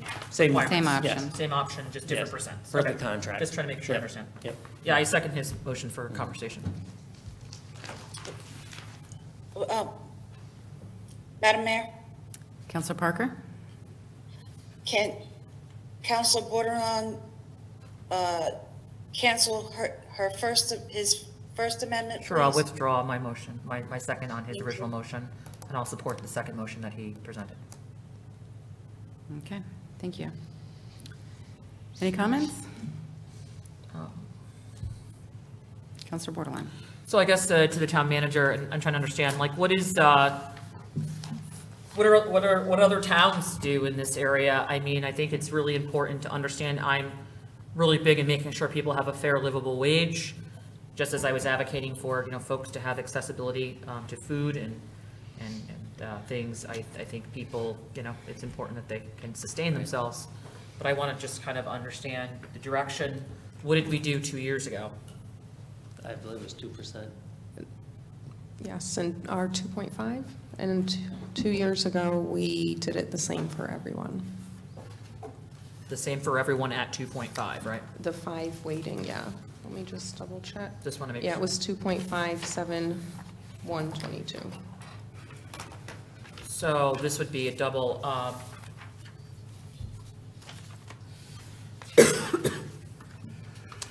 yeah, I just think that we, I want to make sure people get a fair livable wage. Most average jobs, uh, you know, do about a three percent. Um, I probably could support somewhere about a three percent, uh, which would be an increase from the following years. But it also would help with the tax burden on the town. So, um, and I think it should be three percent across the board. Um, I think that's kind of a middle road for me. Um, I think three percent is higher than the few years before, um, but also would tap in to make sure um, folks are getting the raise that they deserve. I think when they serve our community, they should be compensated um, appropriately. Um, I could, I want to support the five percent. I'm just trying to really look at the numbers, numbers and navigate, um, and making sure that, you know, our town is also being fiscally responsible on the other end, um, as well. I'm a big supporter of unions as well. But it's hard for me because, like, we couldn't even move fifty thousand for human services. And, you know, numbers Councilor here- Bordelon, that's already been decided. You cannot bring that up in this discussion. Thank you. I have every right to bring whatever I want up. That's not. No, you don't. That's not how Robert's Rules works. Thank you. Um, I have every right to state on the record that I feel. Bordelon, we will take a break if this continues. Please stick to the topic on the Um, agenda. I'm a firm believer in people having affordable access to food, welfare, and morale in our community, and percent increases in COLAs allow for that. And so I think when we're looking at this, we should be looking at all ways that we're funding our community across the board, which is in my privy to say. Um, When we're looking at our most vulnerable, to our people who have served our community, and that's well within my scope to say. Um, So it's important that we, we designate that um, appropriately. Um, I'm not sure on this one, I'm torn. I really, you know, I want to, you know, as I stated in the other items, is that the cost of living is going up. I know my grocery bill is up. My electric bill is up, right? So people are being impacted, and so um, needing these raises. Um, But also, we're, we're also tasked with making sure we can sustain that year over year.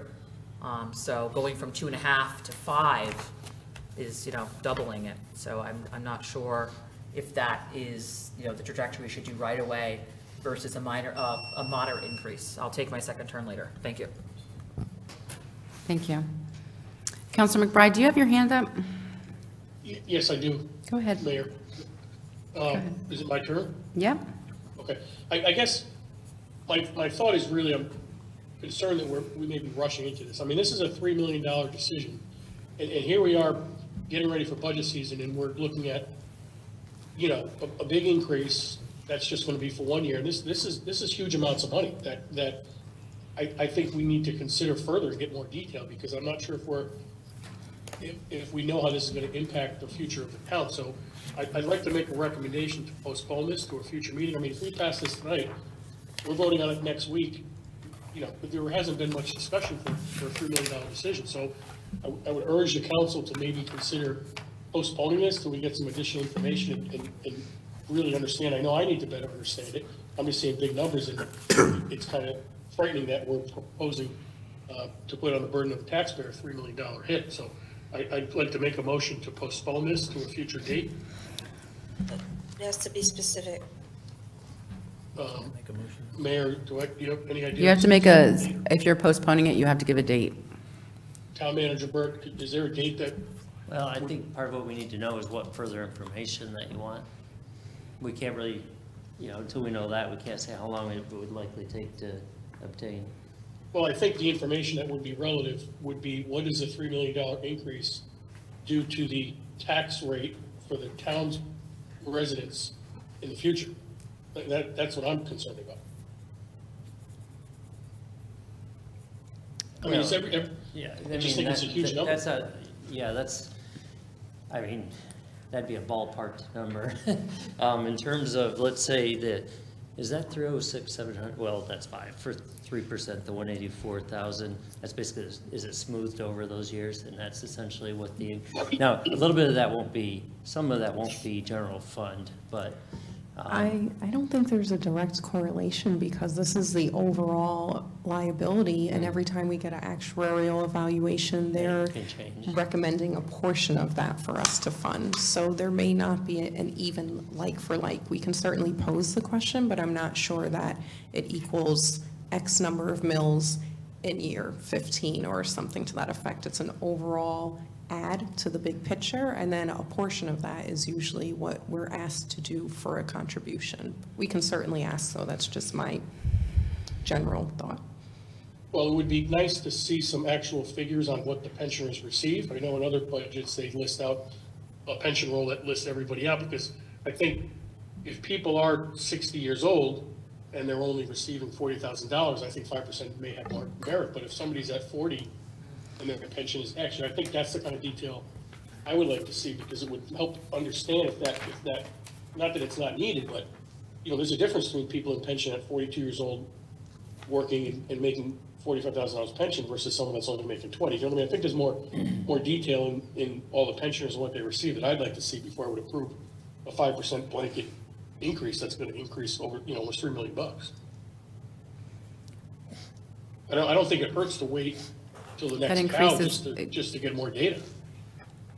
Town Manager Burt, that increases over 20 years, though. It's not a one lump sum of Correct. $3 right. million, And if- Let's just correct? use the one hundred eighty-four thousand, um, just as a number to use. You know, it's about, in the new budget, it's about four point six, um, million for a mill. It'd be a little higher in the new budget, but it's just so you get an idea, you know, it's, a mill's one is four point six million, this is about hundred and eighty-four thousand, so. So it's, it's not a significant increase. Now, do I? What percentage of the This is at the three percent. At the four percent, it's three hundred and six thousand. It's, what percentage of the mill, I'm sorry? Uh, well. Six. .6 of a mill? yeah. No, No. can't be that. .06 So you want me to do it on maybe. three percent or on the five percent? Doing the five. So it's increasing the budget maybe about $184,000 is what you're saying at 3%? Or the 306,000 at 5% for one year, every year? Or point Yeah, zero six, growth. point zero. Point zero seven, six. yeah. Point Yeah. zero, zero seven, yeah. But it, I don't know if I'm still up or not, but it, it is a three hundred thousand dollar increase next year, and that's cumulative, and then in two years, you're gonna increase it again, it's just, I, I, I guess I would just like to see what the pensioners are making too. I mean, I don't have that data, and I don't know if, not that it's not I don't deserved, think but we can. That's not the type of thing we would bring, you know, could we find the average age, give you some broad thing? We're not gonna bring in the detailed I'm information. not sure by yeah. name, by And- and person. And whatever you do is have the whole group. We could say we have this many at this age, et cetera, but that's about it. And you And can't. the- And average cost to a homeowner for every hundred thousand value would be about six or seven dollars. And you can't tell if somebody has another job, is that Right, yeah, we wouldn't have that, no. But we're not gonna get I into guess I just think it's a, it's a- it's a big pensions. number Yeah. to make a decision quickly. I didn't hear any of that. I didn't hear what you said, Councilor McBride. Can you repeat that? Yeah, no, I just think it's a very large number that I, I at least would like a little more time and information to digest it, but that's just my opinion, so thank you for the time. Yeah. Councilor Gieske. Thank you, Madam Mayor. Um, I just want to read some of our council packet for, um, some extra information. So in the background that we received on the motion, it said, all union groups requested an increase of five percent. As a courtesy, the town has submitted the union request to the council on the union's behalf. Let's read those real quick. Um, AS, AFSCME Council 4, Local 3539 President submitted, the requested 5% COLA for 2024 is reasonable and should help retirees with the significant impact of inflation and rising costs of food, clothing, gas, home, eating oil, and et cetera. Please remember the services provided provided by our retirees, as well as the fact that you will be a retiree at some point as well. The Groton Police Union, AFSCME Local 3421, in their request, it, let me just find it, it said, I know we can't undo the past with so many years of not receiving a COLA, but if we could proceed forward with a 5% increase now to help the retirees live more comfortably, they worked hard for many years, especially putting their lives on the line on a daily basis. Um, our United Steel Workers Union said, given the current cost of living increases, inflationary costs, and adjustments made in Social Security, we would recommend five percent for both years to the COLA of the retirees. This would make up for the past years past when no COLAs were given and be more in line with current levels. Thank you. And then the Groton Tele- Telecommunicators Union said, um, blah, blah, blah. After our retirees have completed their decades of service to the town of Groton as a result of the continued high rate of inflation and the adverse impacts the high inflation rates are or more be having on them, the union request a 5% COLA increase for all retirees in 2024. Director Green, I have a question to you. If we went to 3%, would we have to get the union's approval on that? No, each side submits, uh, like, they submit theirs, we could submit a recommendation, but it's entirely up to the council what they pick. No, so no, it doesn't have to be resubmitted. And what would the process be if we did go, like, could you, so if we did 3%, the unions are 5%, where, what, what happens next? It's entirely up to you. It's subjective.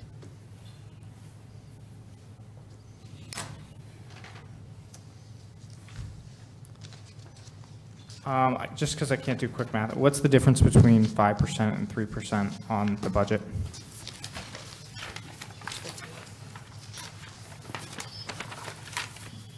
Isn't that on page one eight, page sixty-one? Yeah, Point oh seven. Point oh seven percent.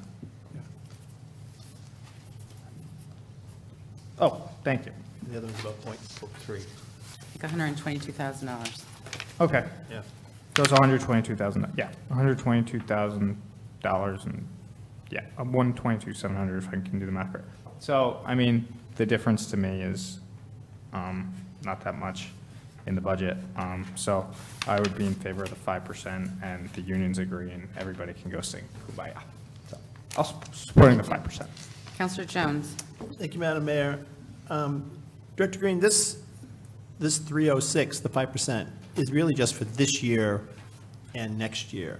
So in two years, when, you- when you come back, And on- once you give it, it stays, but It's- we only it look at stays. it every two years.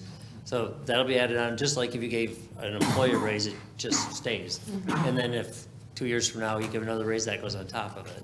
so we could have. So this is a permanent, yeah, for the. It's- This is for sort of the- a, these- it For sort of just keeps on employees. going. So, in the past couple years, we've had zero inflation. We just happen to have a, a spike in inflation now, but we've had zero inflation, basically, you know, just a few years back. So we. But, but there was also, yeah, many years where the retirees didn't get Where it does. anything. So, um, Mr. Burt, does this, um, a a sustainable amount to go over for this, you know? the I think it's okay to do one time. Um, I wouldn't do it every time for five percent, but I think with what we've seen, it's not unreasonable. Okay. So, I mean. I, I inflation would is- recommend at least a three percent, but I wouldn't have a big issue But with you're five. okay with the, with the five percent? And I'm just looking at, on one of the letters here, they kind of plotted out um, inflation, it's on page 65, inflation's plotted out, and it's, you know, it's dropping quite a bit, so um, it has come down and sort of stabilized at a much more livable rate, so, um, but you're okay with the 5%, we can, we can kind of do it, okay. All right. Okay, all right, I'm, I'm fine with the 5% also. Councilor Parker? Thank you, Madam Mayor. A Couple of, a few questions. I would like more information. I would like the breakdown of the every two years because since I've been on a council since, if I'm remembering correctly, 2017, we did give something in 2018. We gave something in 2020, but that is the year we gave 1% because of COVID. Then the following year, two years ago, we did two and a half. So what were the years beforehand?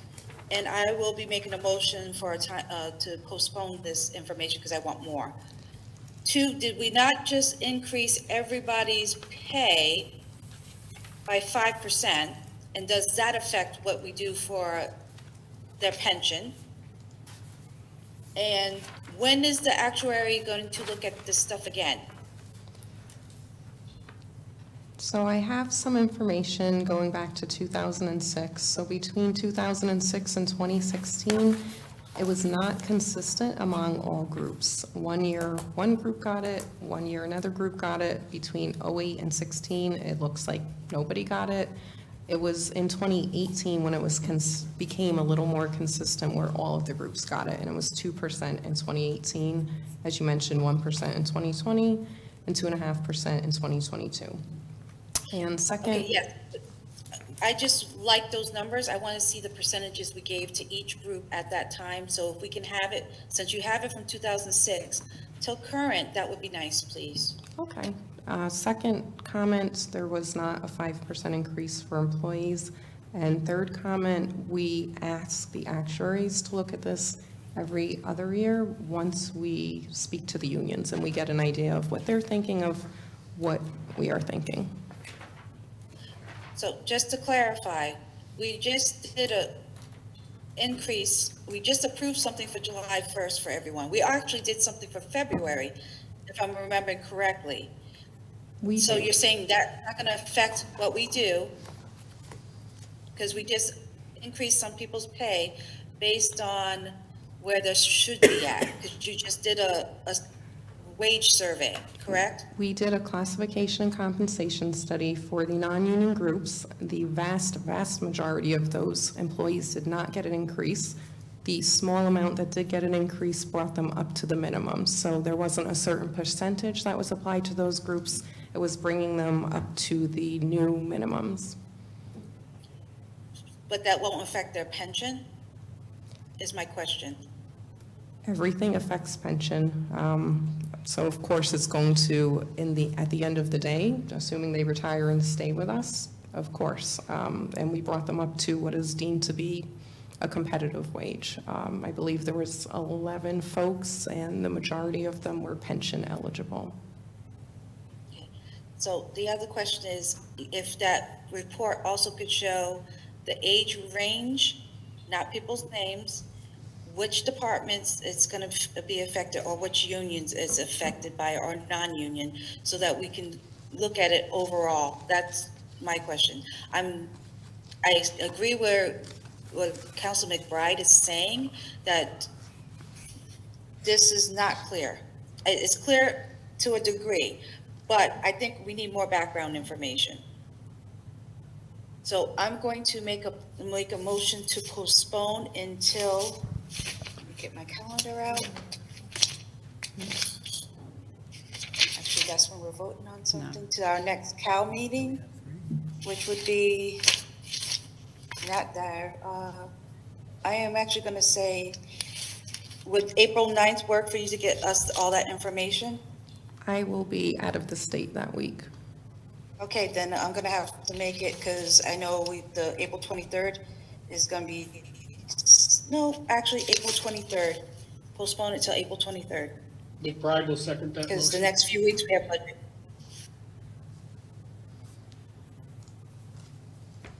We have a motion to postpone, made by Parker, seconded by McBride. We need, oh my goodness, do- is this just a straight vote or is it two-thirds? Let me just see real quick. Just can't remember off the top of my head. on this one. Majority, majority. Thank you. All right. Can we have three? Hmm? Can we have three motions on the floor? You can motion to postpone, it's not, Not part of no. Can you guys just announce that on the record so everybody can hear, please? He asked if we could have three motions on the floor, and I said a postpone is not a motion, the same as um, an amended motion. Thank you. Um, So we have a motion on the floor to postpone till 4:23, and, um, gosh, I can't remember. Um, It is debatable. Does anybody have any comments? Councilor McBride? Yes, I just want to reiterate that I think it's in our best interest to postpone this, just to get more information. There's a lot of other information, and I think to postpone wouldn't hurt any time. What's the, the timing for this wouldn't go in effect until July 1st anyway, so why, why wouldn't we postpone to get more information? There's no rush. We have plenty of time to move forward with this, so I support this, and I, I hope others do as well. It's a $3.4 million increase. Thank you. Councilor Rusk? Director Green, is there any reason why this can't be postponed until that date? Is there any negative impact to that? Not that I can think of. I just caution us on getting too close to the new fiscal year because there's some processes we have to do, and it's uh, better to not do retro for folks if we can help it. It- Would this cause you to not have enough time to get it done in this fiscal year? If we postponed it to, I'm sorry, can you give me the date one more time? The 23rd of April. April 23rd, and then our next. Approved on May 7th. The vote would be May. Um, As long as I can get uh, from the town manager through the mayor exactly what is needed so that we can have everything satisfactory. Thank you.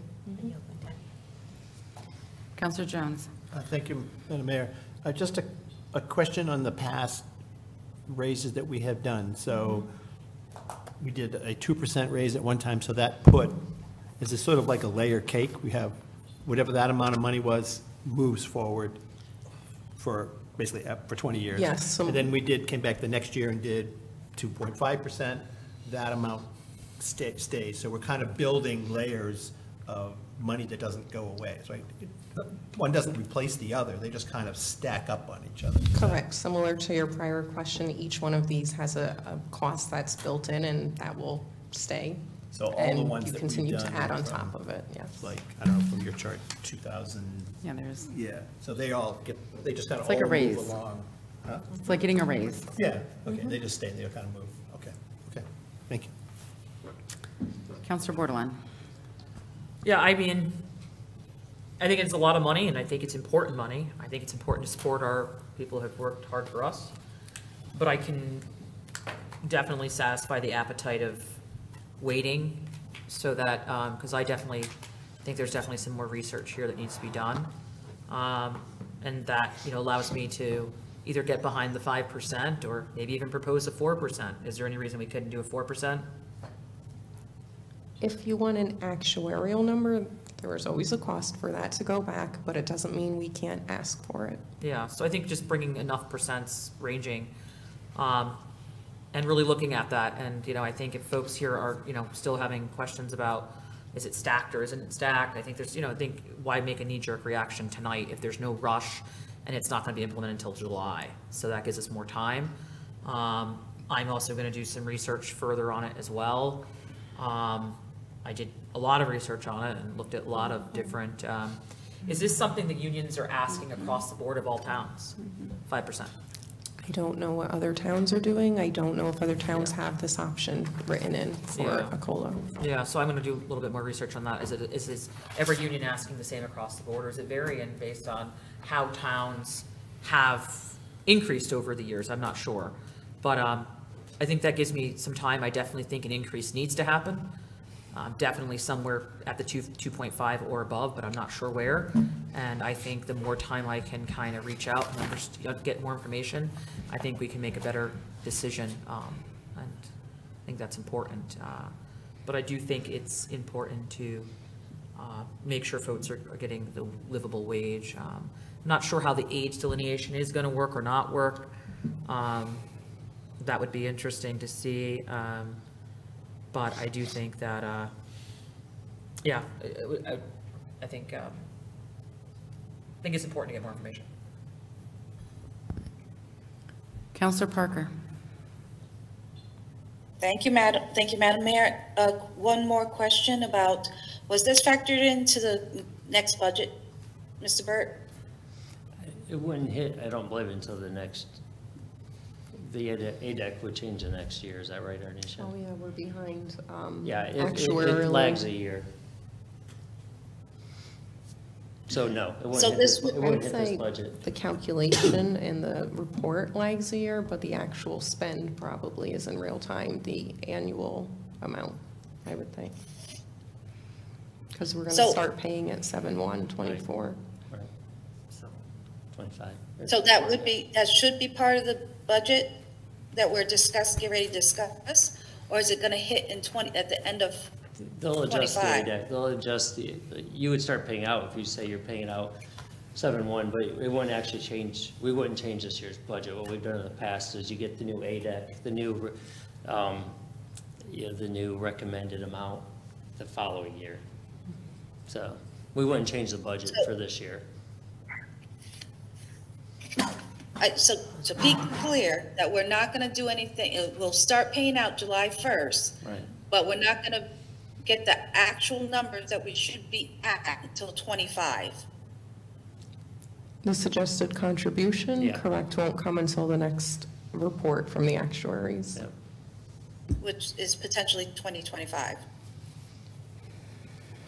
Calendar year twenty-five, Usually Early in the year. Yeah. Right around the turn of the year. So, yeah.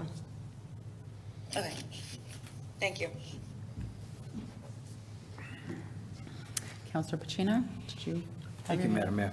Um, Hey, Ms. Green. Hello. Hey, um, Have we been keeping up with inflation with our COLA for our retirees?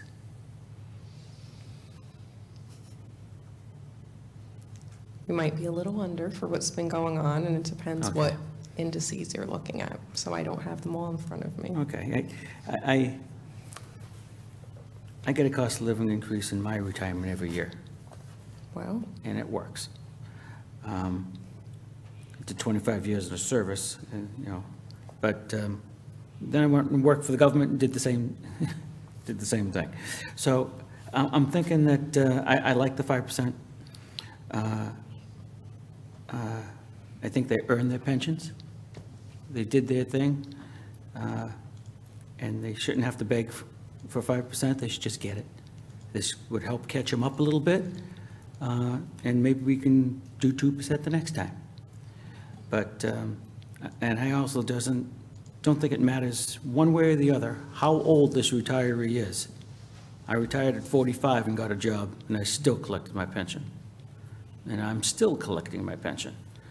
Uh, With that said, I don't mind waiting for all of my other questions till April.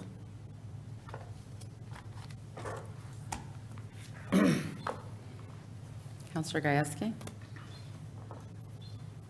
Thank you, Madam Mayor. Uh, I'm just going to piggyback off of my dear colleague, Councilor Pacino said. Um, I'm fine with postponing, um, just because we don't, it's not going to go into effect until July, and um, it'll give my fellow councilors some uh, time for more information. Um, But if that vote doesn't pass tonight, um, I'll be supportive of 5%, because as Councilor Pacino said so eloquently, um, we have not really kept up with inflation based on the charts that um, we've been provided um, in our council packet tonight. Um, So that's where I am at.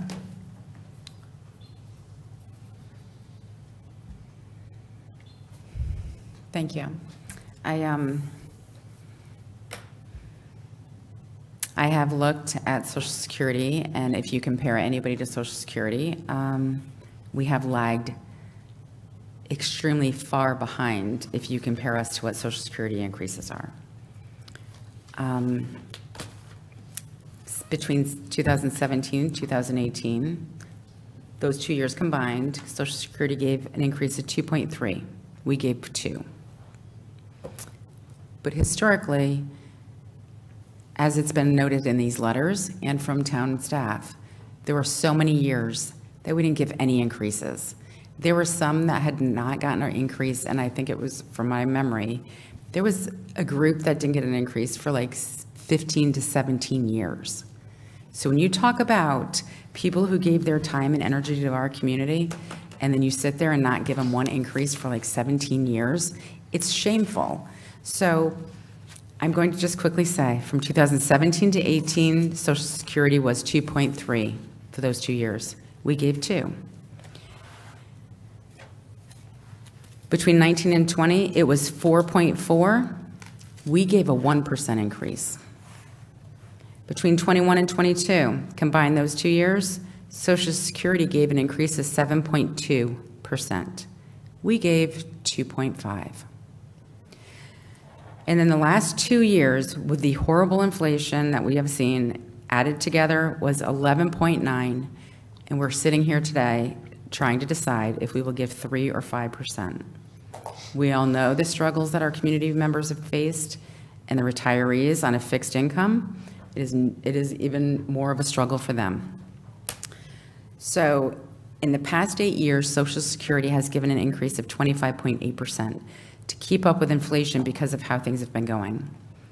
We, in six years, gave a total of 5.5% increase, with historical pot- potentially 17 years prior to that hardly giving anything. So I will stand here and I will always fight for our retirees, and I feel sort of ashamed that this is how um, these COLAs have gone, and they were not kept up with in previous years, prior to this, um, prior to at least me being on the council.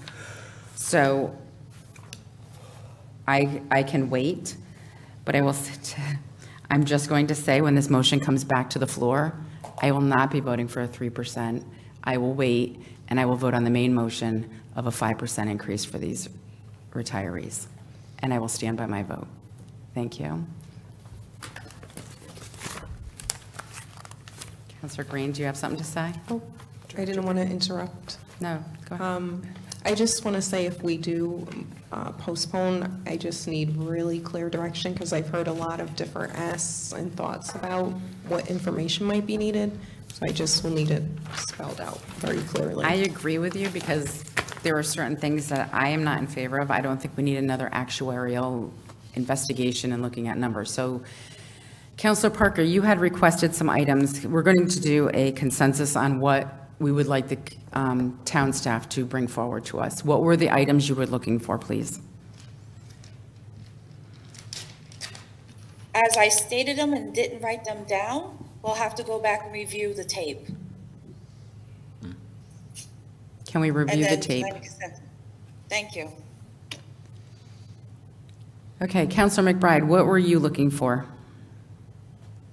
Thank you. I, I'm looking for more information on, to show, to, to show the compounding effect on those numbers. So we're gonna increase two hundred thousand, how that relates to the fo- the following year, and the following year after that, and how that's gonna impact the mill rate. I'd also like to see, even if it's not individual, if we're not able to provide that, what the range of the pension salaries are, so we can get a feeling of what the need is for that individual, um, for those amounts, so we can see what these retirees are receiving. Um, So mainly just the financial ramifications of, of the various options. And for us to truly understand what that, you know, what that three point six or three point four million dollar liability is gonna do to the town and its financial stability. I'm, I'm having a difficult time hearing you, and you're saying a lot of things, so I'm trying to break it out to exactly, so we can take a consensus of each bullet point to see if the council is looking for this in general, because they're gonna have to do work to get us this, and we, and they work for the council and not for one individual councilor, so I was, I want to try and get a consensus of the council of what we were, are looking for. Can you please, in bullet points, give me the items you're looking for? Yeah, I'd like to see in ranges, the salary ranges for the current pensioners. There's usually a pension roll which lists every single individual and their salary. We don't need to see the individual names if that's, doesn't desire, although it's all public information. But I'd like to see what the pensioners are receiving, because that should give at least me an understanding of how how needed um, this, this increase is.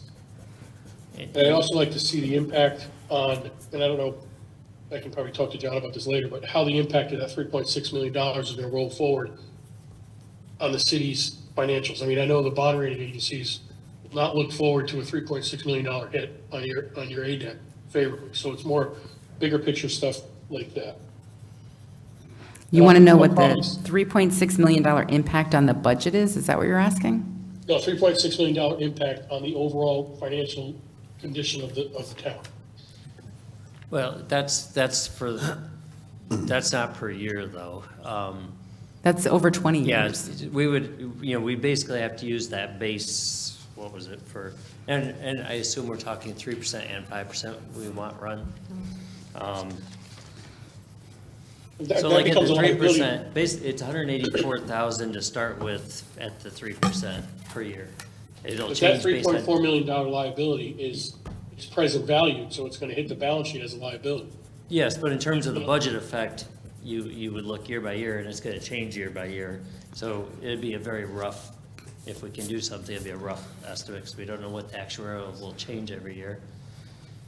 That's true, too, I, because I it's would based- basically, you know, we'd have to make some assumptions, I think, so. It's based on market performance, too, what Yeah, our it's market- unfunded liability is, so that's kind of two I, moving I think targets. I would just take this number and carry it out, is probably all I would do, right? The 184 and the 306? Yes. And I think with some assumptions with that, that likely future councils are going to give some increases as well. So that's, that's kind of the issue, is it's five percent. It's Right. compounding, right? It's not, it's five percent plus two percent, two years plus two percent. It's, that's why generally it's usually only two, two, two, two and a half because of the compounding impact. And So we're looking at the long-term, uh, impact and how that's going to affect the budget. If you're at a, you know, whatever it is, two hundred, I forget the number, I don't know how it's probably two hundred fifty thousand dollars on this year's budget, it's going to roll into the future budget. It's I- going to increase the future year. I think, one thing I think about is my understanding for actuarial reviews, this is a snapshot in time, this data that we're given, assumptions and what things are going to look like. In 10 years, if we have a, a great return on the market, our unfunded liability might be reduced by X, and these numbers are all different. So it's really hard to say, over 20 years is 3.4 million, how is it going to hit the balance sheet every year? What is our contribution going to be according to the actuarial suggestion? That's a best guess, I think, every year that they're doing. Yeah, I, I think we'd have to carry that forward, but then in terms of what Councilor McBride is asking, we can make some assumptions on every two years, giving like a two percent increase and how that adds up. And market performance? I don't, I don't know how you do that. yeah, I don't think we can build that in. Even Yeah, I if you just have the cash outlay showing how that's going to impact the future budgets would be beneficial. Hmm. But I don't think you can tell how it's going to affect It- the it- budget. Yeah, it wouldn't be real accurate, it gives you some idea of how it compounds.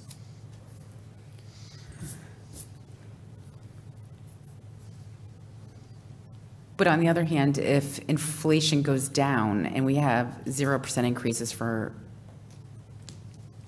numerous years, you might not give a COLA. So you can't, there's assumptions here that are very hard to make, I think.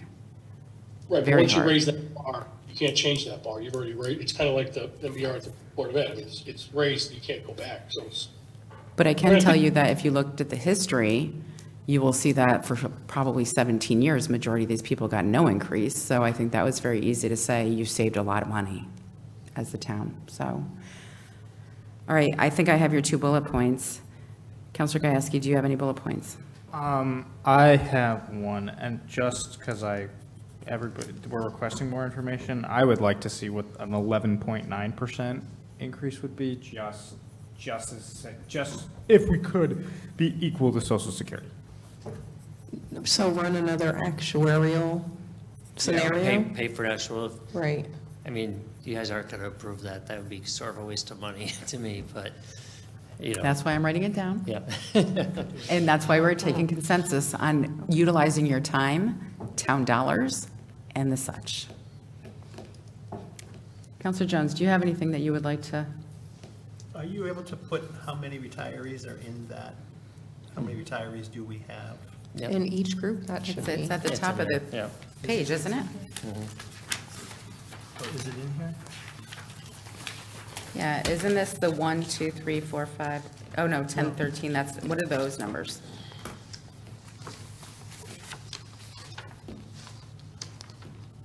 I don't know offhand. I don't want to guess.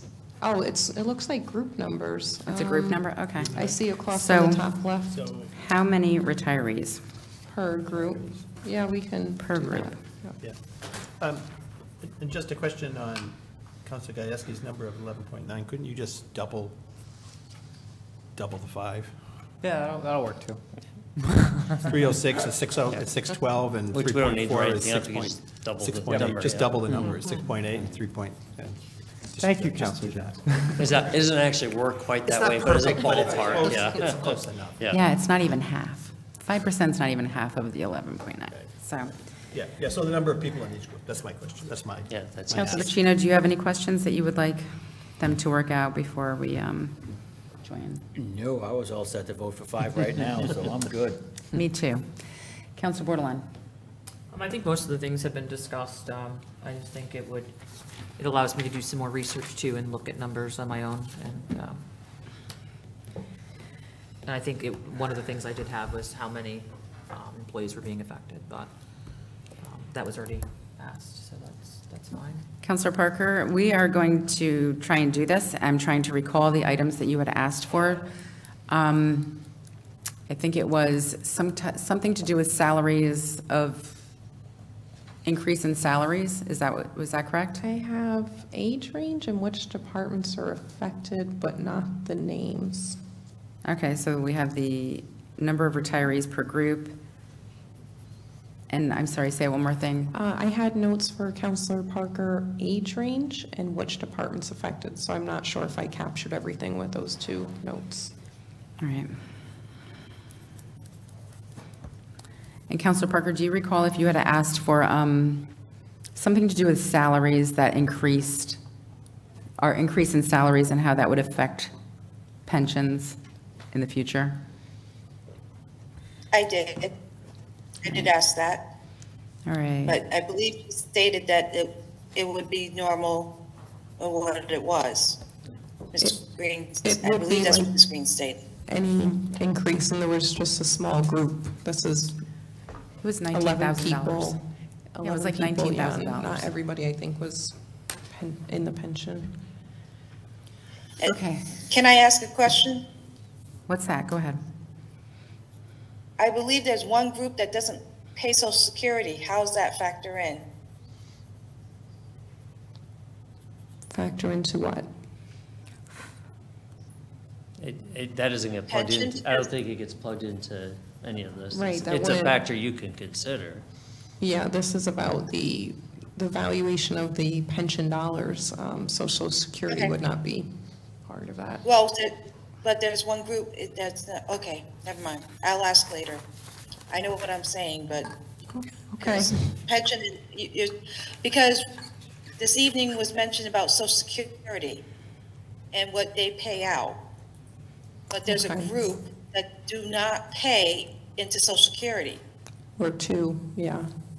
Yeah, there's a couple that don't pay into it. Mhm. And do they get the same equal amount of an increase?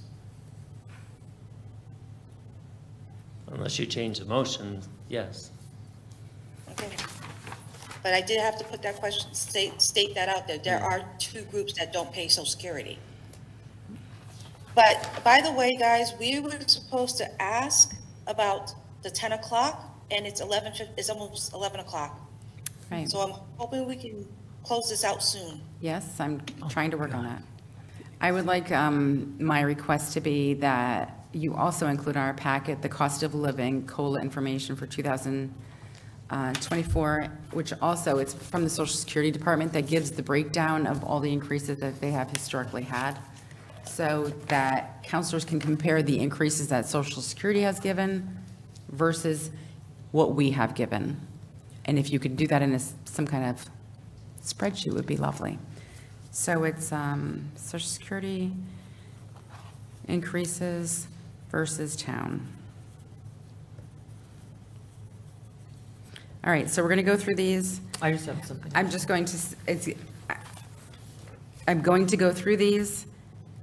We are going to raise our hand and say if we are in favor of them. If we get five to support it, this will be a direction. And if you do not get five of support, we're not asking for you to follow up on this information. Then we will take a motion on the postpone, and then you will know the direction of what you need to give for the postponement. Council Bordelon. Um, I could just reach out to the unions, but I was just going to ask if, you know, is this, um, I would just like to know, is this an ask from the union across the board if they're looking for 5%? Uh, yeah, I And- believe all their letters said five. They did say five, but it's- is that the ask they're doing across the board in all the towns? Some towns might not even give COLAs. No, I meant the So, ones that do. I mean, I'd I have can to reach out. research. That was one of my asks. I- I'm just going to ask if you talk, you know, like, Got since you it, talked to. okay. I can reach out to them too. I mean, I don't mind, but that was one of my other things I wanted to add was, Okay. are, is that they're kind of, you know, because they, as a. All right, as a I'm going to union- take a, we're going to do this because I understand you're I- trying to I- explain it, but we don't have, we are, you don't have the, the floor. Your time has been expired. No, we had a We different are- motion. I still haven't returned. No, we are trying to go through this, and, and I understand you're trying to explain yourself, but let's That's just get fine. through this. I'm- I'm fine anyway. Thank you. Thank you. So one is to ask for a range salary for the current pensioners. Is there anybody in favor of that? I'm, I'm in favor of that, but I, ju- I just have a point of clarification, or I'm not sure what point it is, but I, I understand what you do are doing, coming up with direction, but when I do my due diligence and review this, I'm still, I still may have questions, and I may reach out to John Burt for further information. I just want to make sure I'm okay to do that, because thi- this is You're what the council wants, but I may have some additional questions, so I just want to make, put that on record that I may, we can ask some further questions. But I would in favor The that. problem with that, it opens up for everybody to throw in. I think if you have questions, we either need to be asked tonight to look it up, or else you'll have to try to make a motion to postpone if you're not satisfied for next time.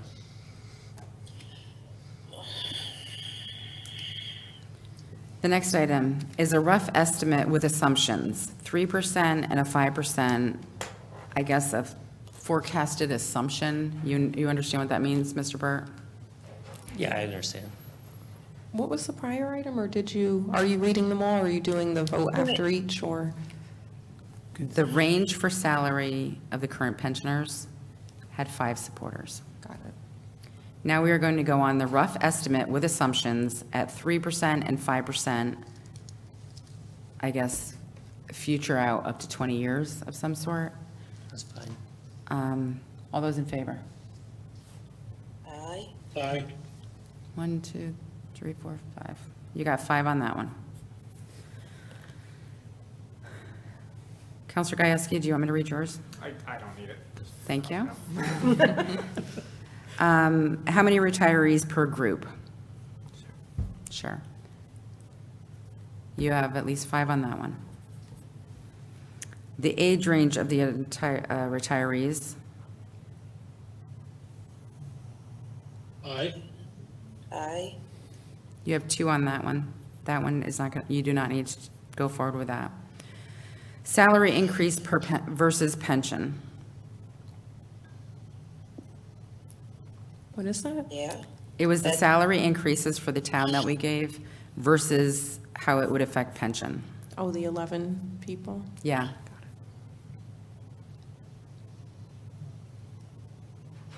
Aye, I'm in favor of all more information, so I'm an aye for everything. There's three people. That one does not um, go forward. Social Security increase versus what town increases were historically. Aye. That has five. Just, what, can I throw the caveat that there's two groups that don't have that? So I, that would be a It's not about item. whether they received it, Social Security, it's about comparing what we were doing versus Social Security, because Social Security increases on the cost index, which shows inflation. So that's what you're looking on at Social Security to see. There's two groups, there's a bunch of groups that don't pay into it, so it, it's gonna, it's gonna skew the number. That's not the point of looking at that number. It's looking at Social Security to say, they have given a COLA increase to people because they, they compare it to the consumer, the, um, what the heck is it called? Consumer Price Index, and that's usually what a COLA is based on. So we, randomly choose how to give a, a, a COLA increase.